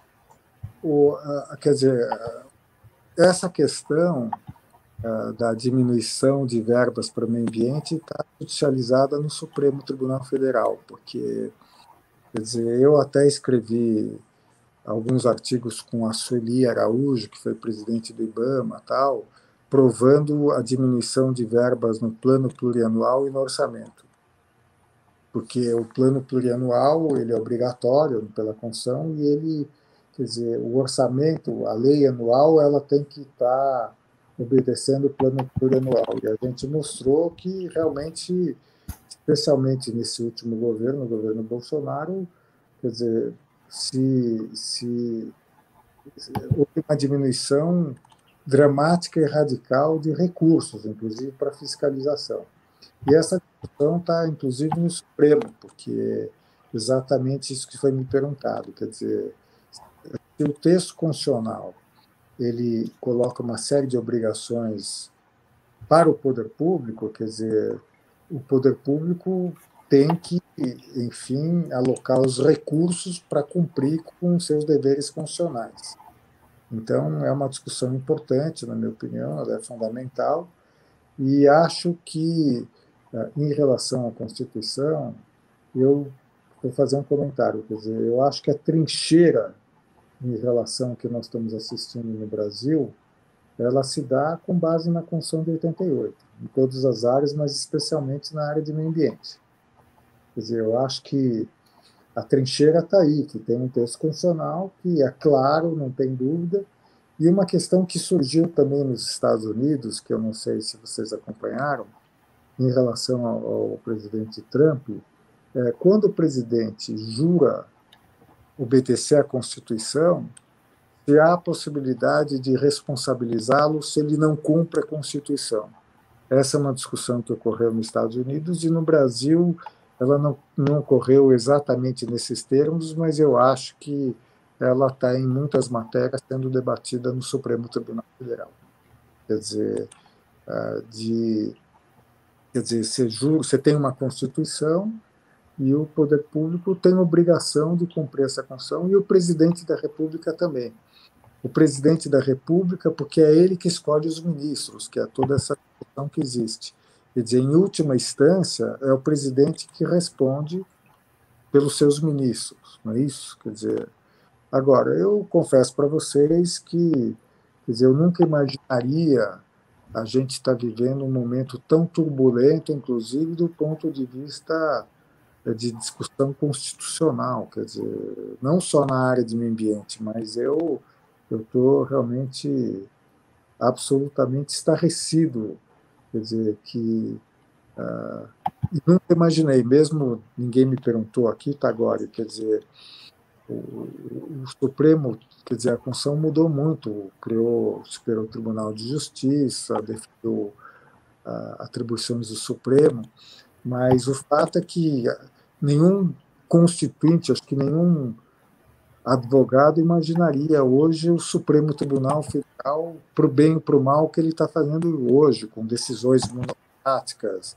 bate-boca entre os ministros, ministro que dá entrevista sobre o processo que ele vai julgar, quando a lei de magistratura não uh, proíbe, quer dizer, então, quer dizer, eu acho que estamos vivendo um momento muito atípico no Brasil, entendeu? Quer dizer, e, e, que eu vejo com uma certa preocupação, quer dizer, colocar no Supremo, isso é uma decisão que é fundamental em muitos aspectos do Brasil, quer dizer, para apenas 11 pessoas e muitas vezes decidindo monocraticamente, pedindo vista do processo e não colocando em plenário, Agora, na área de meio ambiente, tem sido uma resistência importante para nós, entendeu? Na, tem uma ação sobre o CONAMA, que a Rosa Weber, que começou a votação e foi interrompida, se pode diminuir o CONAMA ou não pode, quer dizer, tem discussões que, na minha opinião, elas são importantes para a área ambiental, porque ah, é, há uma tentativa, na minha opinião, de passar boiada nos estados que às vezes passa desapercebida. Quer dizer, o fenômeno federal de reduzir a abrangência da legislação, diminuir, quer dizer, a atuação dos órgãos ambientais, não é só do governo federal. Infelizmente, a gente assiste em muitos estados o mesmo fenômeno. Pronto, vamos lá. É, Para agilizar, se o senhor me permite, eu vou fazer duas perguntas no mesmo método que eu fiz anteriormente. O Valdir Gravatar pergunta o seguinte: Doutor Fábio, como compreender o fato de, apesar de ter uma Constituição Federal ecologicamente tão avançada, o Brasil figurar ano após ano entre os países mais perigosos do mundo para ativistas e defensores do meio ambiente? E a Vânia Nunes, ela pergunta o seguinte: o senhor acredita que podemos, com as políticas municipais de educação ambiental, é, levar essa educação para a comunidade, de fato formal ou não formal? Bom, primeiro, quer dizer, na primeira pergunta, eu diria para vocês o seguinte, quer dizer, o Brasil tem situações muito peculiares, né? Quer dizer, o, a proposta brasileira para o Acordo de Paris, que é a proposta que o Brasil apresentou, ela, ela diz que o Brasil vai acabar com o desmatamento legal até 2030. Então, vocês vejam que coisa interessante. Quer dizer, o Brasil admite o desmatamento ilegal, que não poderia, em tese, no Estado de Direito, não é isso? E diz que até 2030 vai diminuir o desmatamento. Então, a gente tem um país com muitas contradições e paradoxos. E no caso do que você falou, quer dizer, infelizmente, nós estamos vivendo um ambiente, na minha opinião, muito polarizado radicalmente polarizado e que estimula, inclusive, ações de ameaças e constrangimentos a, a líderes indígenas, ativistas ambientais, defensores de minorias que a gente não via no Brasil há muitos anos atrás. Quer dizer, eu acho que esse é um resultado desse ambiente polarizado que a gente está vivendo. E eu estou dizendo isso porque eu já falei em algumas conversas com o Tagore, a questão ambiental não é uma questão nem de esquerda nem de direita, é um equívoco você, quer dizer, cair nessa armadilha dessa polarização. Eu falo isso porque quem criou o EPA, o Environmental Protection Agency nos Estados Unidos, foi o Nixon.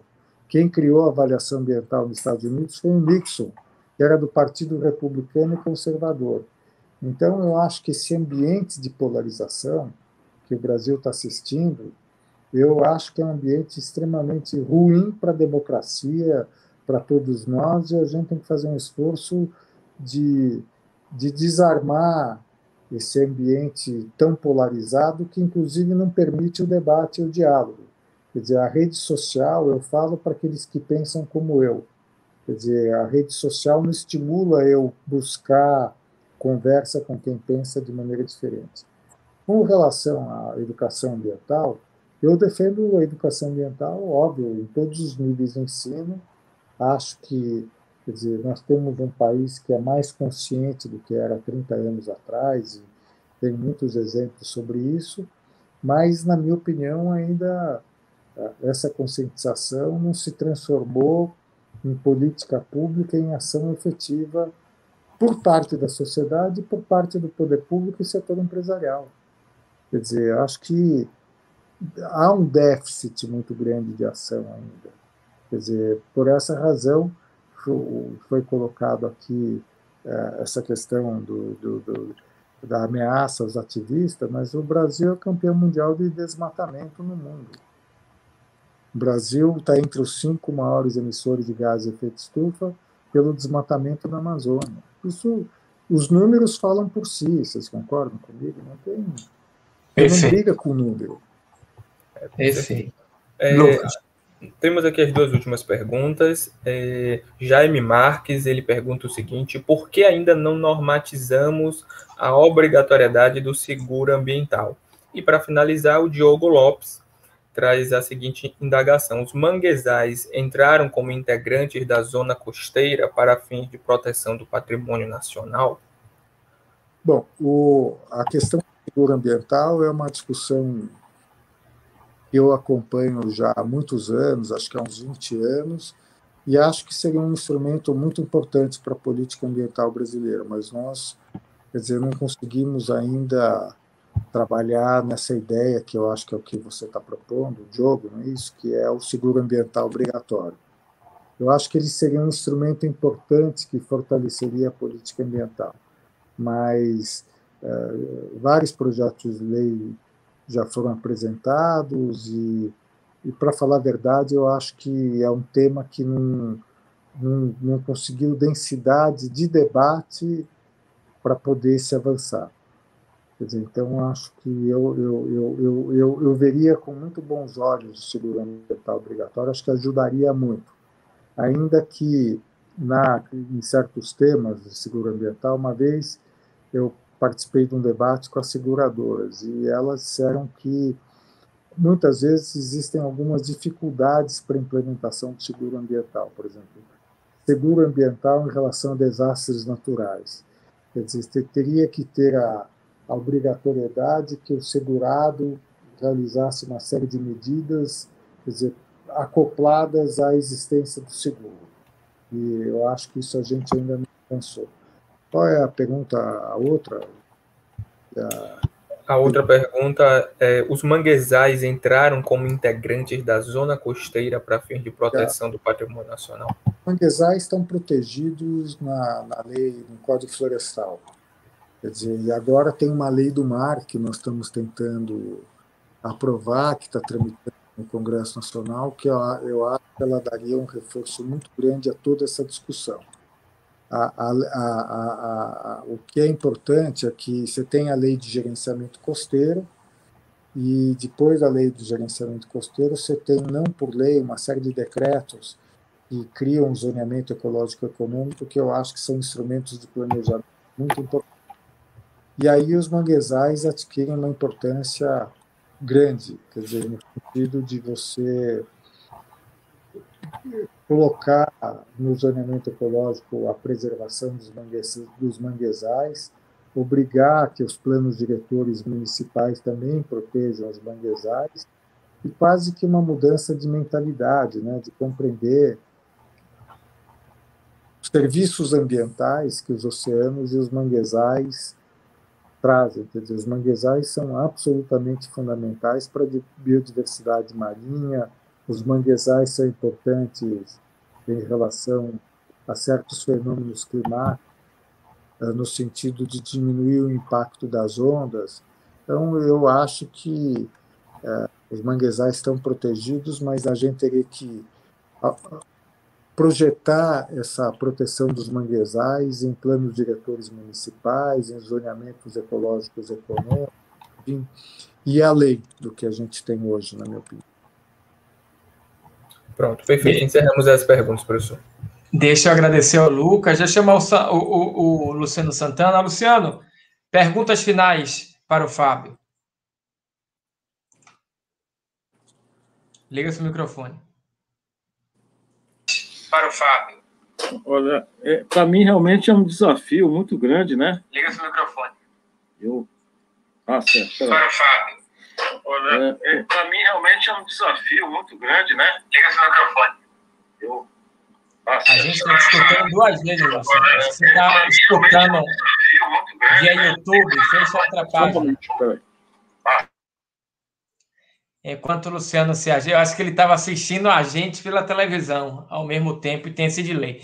Pessoal, Fábio, deixa ele. Está me ouvindo agora? Sim. Está conseguindo me ouvir? Tô, Sim. Tô. Tá bom?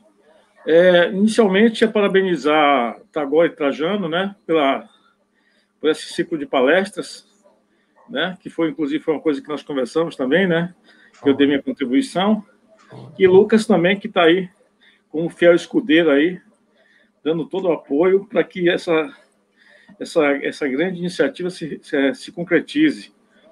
E hoje nós tivemos a oportunidade de ouvir Fábio Feldman que eu não sei nem, acho que não tenho palavras assim para dimensionar a importância dele na, para o direito constitucional, direito ambiental constitucional brasileiro e direito ambiental como um todo, né?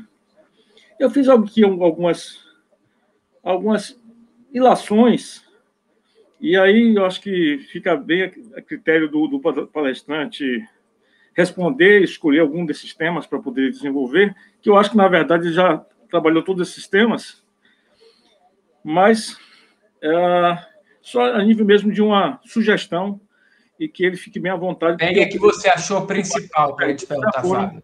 Respondidas. Deixa eu ver aqui. Veja a principal. Oi. Veja uma principal para a gente encerrar com chave de ouro. Veja uma principal para a gente Agora? encerrar com. Tá Veja uma principal para a gente encerrar com chave de ouro. Oi, agora. Estou dizendo, então, eu vou fazer aqui as perguntas, porque, Pronto. rapidamente, é, eu coloquei aqui algumas ilações, né? Eu acho que a Constituição ela traz muitas, muitos avanços, né? É, o princípio da responsabilidade intergeneracional, o princípio da não crueldade, são, é muita coisa que está. Parece que eu, todos aqueles debates que ocorreram nas décadas anteriores, e também na década de 80, né, serviram como base para a criação desse capítulo, que é um bom resumo né, da, das discussões que existiam na época. Né? E realmente a gente tem que parabenizar o Constituinte brasileiro por ter conseguido colocar é, num um, um capítulo com apenas um artigo tantas proposições e tantas ideias né, que poderiam servir, o que serve né, para colocar o Brasil é, é, é, como é que eu posso dizer, num patamar né, elevado em relação à questão da legislação e, da, e a nível da, do direito ambiental constitucional. Mas, assim, há, algumas ilações que, eu não, como eu disse, não precisam ser respondidas, porque eu acho que todas elas já foram, certamente, respondidas. Então, a, a primeira que eu coloquei aqui é em que medida a Constituição de 88 contribuiu para o avanço dessa temática ambiental no Brasil e no mundo, né? Acho que já foi, já foi dito alguma coisa também. É, como foi possível estabelecer um capítulo de meio ambiente né, na Constituição de 88, um capítulo como esse, com tantas inovações? Não é? Será, às vezes eu fico pensando, é, se discute a, que a Constituição é um contrato social, um pacto social, né? mas será que os agentes, quer dizer, os setores e agentes que estavam representados nessa Constituição, eles tinham consciência da, da, das propostas, né? até que ponto é, eles realmente simplesmente não, não observaram é, tantas inovações é, para o direito, né? Então, achei, é, é, quer dizer, o papel da ignorância, né, de certa forma, porque eu acho que muitas pessoas, ou muitos constituintes, não tinham, não tinham dimensão do, dos avanços que a Constituição trazia, né, nesse capítulo. É, deixa eu ver aqui. Como você avalia o que está acontecendo hoje no direito ambiental brasileiro, que é um momento de desconstrução, de certa forma, de tudo que foi construído ao longo desse tempo, né? É, como você avalia a ideia de saúde única, ambiental, animal e humana, e o direito ambiental constitucional em face da emergência dessa crise sanitária causada pela pandemia da Covid-19? De alguma forma também já foi respondido essa ideia de uma saúde única, né? Ambiental, animal e humana, e essa relação com o meio ambiente, né, com o direito ambiental constitucional. Nós também vivemos, ultimamente, grandes desastres ambientais causados por ação antrópica, muitos deles, no Brasil e no mundo, e nós realmente, praticamente, o Brasil foi um palco de, de, de grandes desastres nos últimos, em poucos anos, como a, o desastre Mariana e Brumadinho, o derrame de petróleo na zona costeira da região Nordeste, o desmatamento, o incêndio na Amazônia Pantanal, entre outros tantos fenômenos, tantos desastres ambientais, né? E também a gente, a gente percebe também a questão da, da, cooptação das agências reguladoras e fiscalizadoras e até de certos setores, talvez do Poder Legislativo, em relação a, a uma certa complacência por parte do poder público em relação a, a, a essas esses grandes empreendimentos ou, ou, que, ou que, que, podem causar, potencialmente causam dano ao meio ambiente. Deixa eu concluir aqui.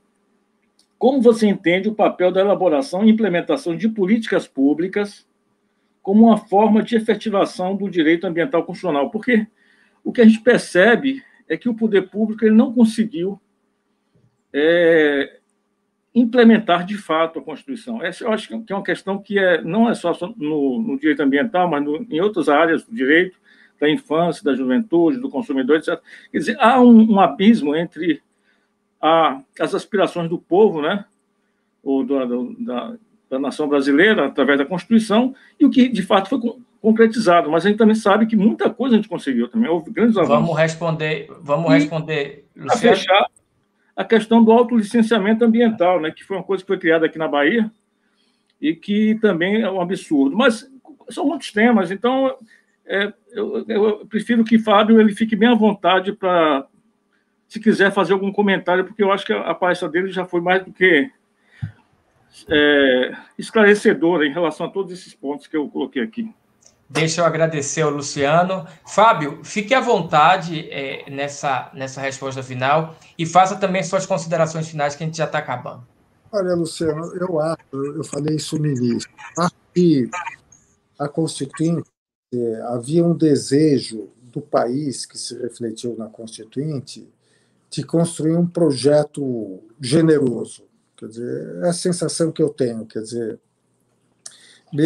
quer dizer, parlamentares conservadores, parlamentares progressistas, mesmo parlamentares que eu diria assim paroquiais, tal, quer dizer, todos eles estavam imbuídos dessa desse desejo de, de e, e até uma certa utopia de transformar o Brasil. Acho que isso se reflete num texto que é generoso, quer dizer, o texto você falou Estatuto da Criança e Adolescente, consumidor, mesmo na área de meio ambiente, vocês olharem, quer dizer, olha, olha o que sucedeu à Constituição, Política Nacional de Recursos Hídricos, SINUC, Política Nacional de Educação Ambiental, quer dizer, agora a Lei de Licenciamento, olha, quer dizer, como o Brasil evoluiu no marco regulatório.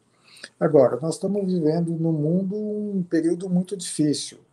E, pessoalmente, acho que o mundo depois da Covid é um outro mundo que não é o que a gente viveu até aqui, eu acho isso. E nesse sentido, eu creio que nós vamos uh, retomar algumas mudanças e alguns projetos no mundo que vão refletir no Brasil. Eu acho que o que nós estamos assistindo no Brasil, na minha opinião, é algo que para um constituinte era inimaginável. Eu confesso para você, já falei isso para o Tagore pessoalmente, eu nunca imaginei que a gente estaria discutindo democracia no Brasil, que a gente estaria discutindo estado de sítio no Brasil. Quer dizer, então, quer dizer, isso, isso é uma certa lição na gente, no sentido que nós temos que dar sentinelas pela cidadania, pela Constituição, vocês concordam comigo? Quer dizer, então, quer dizer, é um momento de, que eu diria, no mínimo, de perplexidade. E eu, como constituinte, devo dizer para vocês, absolutamente perplexo. Eu não imaginei que, na verdade, nós estaríamos retomando discussões que eu achei que estavam superadas com a democratização do, do Brasil. Então é isso, pessoal. Eu, eu só queria dizer que eu, conversas como essa são muito importantes, sabe por quê? Porque às vezes uma pergunta de vocês, quer dizer, uh, é uma pergunta que eventualmente eu não pensei na época da Constituinte, ou nós não pensamos, entendeu? Porque, como eu disse para vocês, o mundo mudou muito e muito positivamente nos nossos temas. Quer dizer, quem de nós imaginaria que o tema de mudança do clima, até pela gravidade, se transformaria num tema tão importante no mundo? Quer dizer, tema número um na agenda internacional, nas relações diplomáticas entre países. Então, Tagore, uh, Luciano, Lucas, eu estou muito feliz de estar aqui quando for convidado, eu tenho o maior prazer e, viu, Tagore, se algum aluno quiser conversar comigo ou fazer uma pergunta, às vezes eu vou ser até falar honestamente, olha, a gente não pensou nisso na Constituição. Pensou. Quer dizer, coisas como uh, candidatura avulsa, que hoje está sendo discutida, não entrou na Constituição. Alguém poderia perguntar se ela já está prevista no Pacto de São José Questões até é, de transgênero também naquela época não estavam presentes. Quer dizer, hoje estão no debate na sociedade, inclusive fora do Brasil, nas cortes internacionais. O que o Tagore sempre fala, o direito dos animais. Não estava. Então, quer dizer, eu acho que a gente tem que olhar para frente e avançar. E o que você falou, Luciano, a Constituição é quase que um programa do que tem que ser feito. É isso. A Constituição, ela, ela elenca na área de meio ambiente outras, quer dizer, digamos assim, missões, tarefas e compromissos da sociedade brasileira para ela evoluir e se tornar menos desigual, mais digna para todos, respeitando o meio ambiente, como o Tagore gosta, o direito dos animais também, que hoje está na agenda, é importante, entendeu?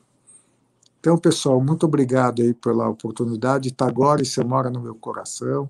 Você sabe, eu tenho muito orgulho de ser teu amigo, tá, Tagore? Eu sempre falo isso para você.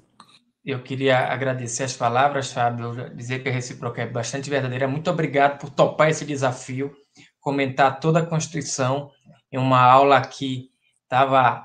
A ideia era ser de uma hora, a gente já está aqui em duas horas de aula, mas é, o público ficou, teve bastante pergunta, bastante material. E eu vou fechar lá com a vinheta. Vou deixar vocês e dar um, um abraço a todos vocês. Muito obrigado. Tchau, até. Até mais, pessoal. Thank you.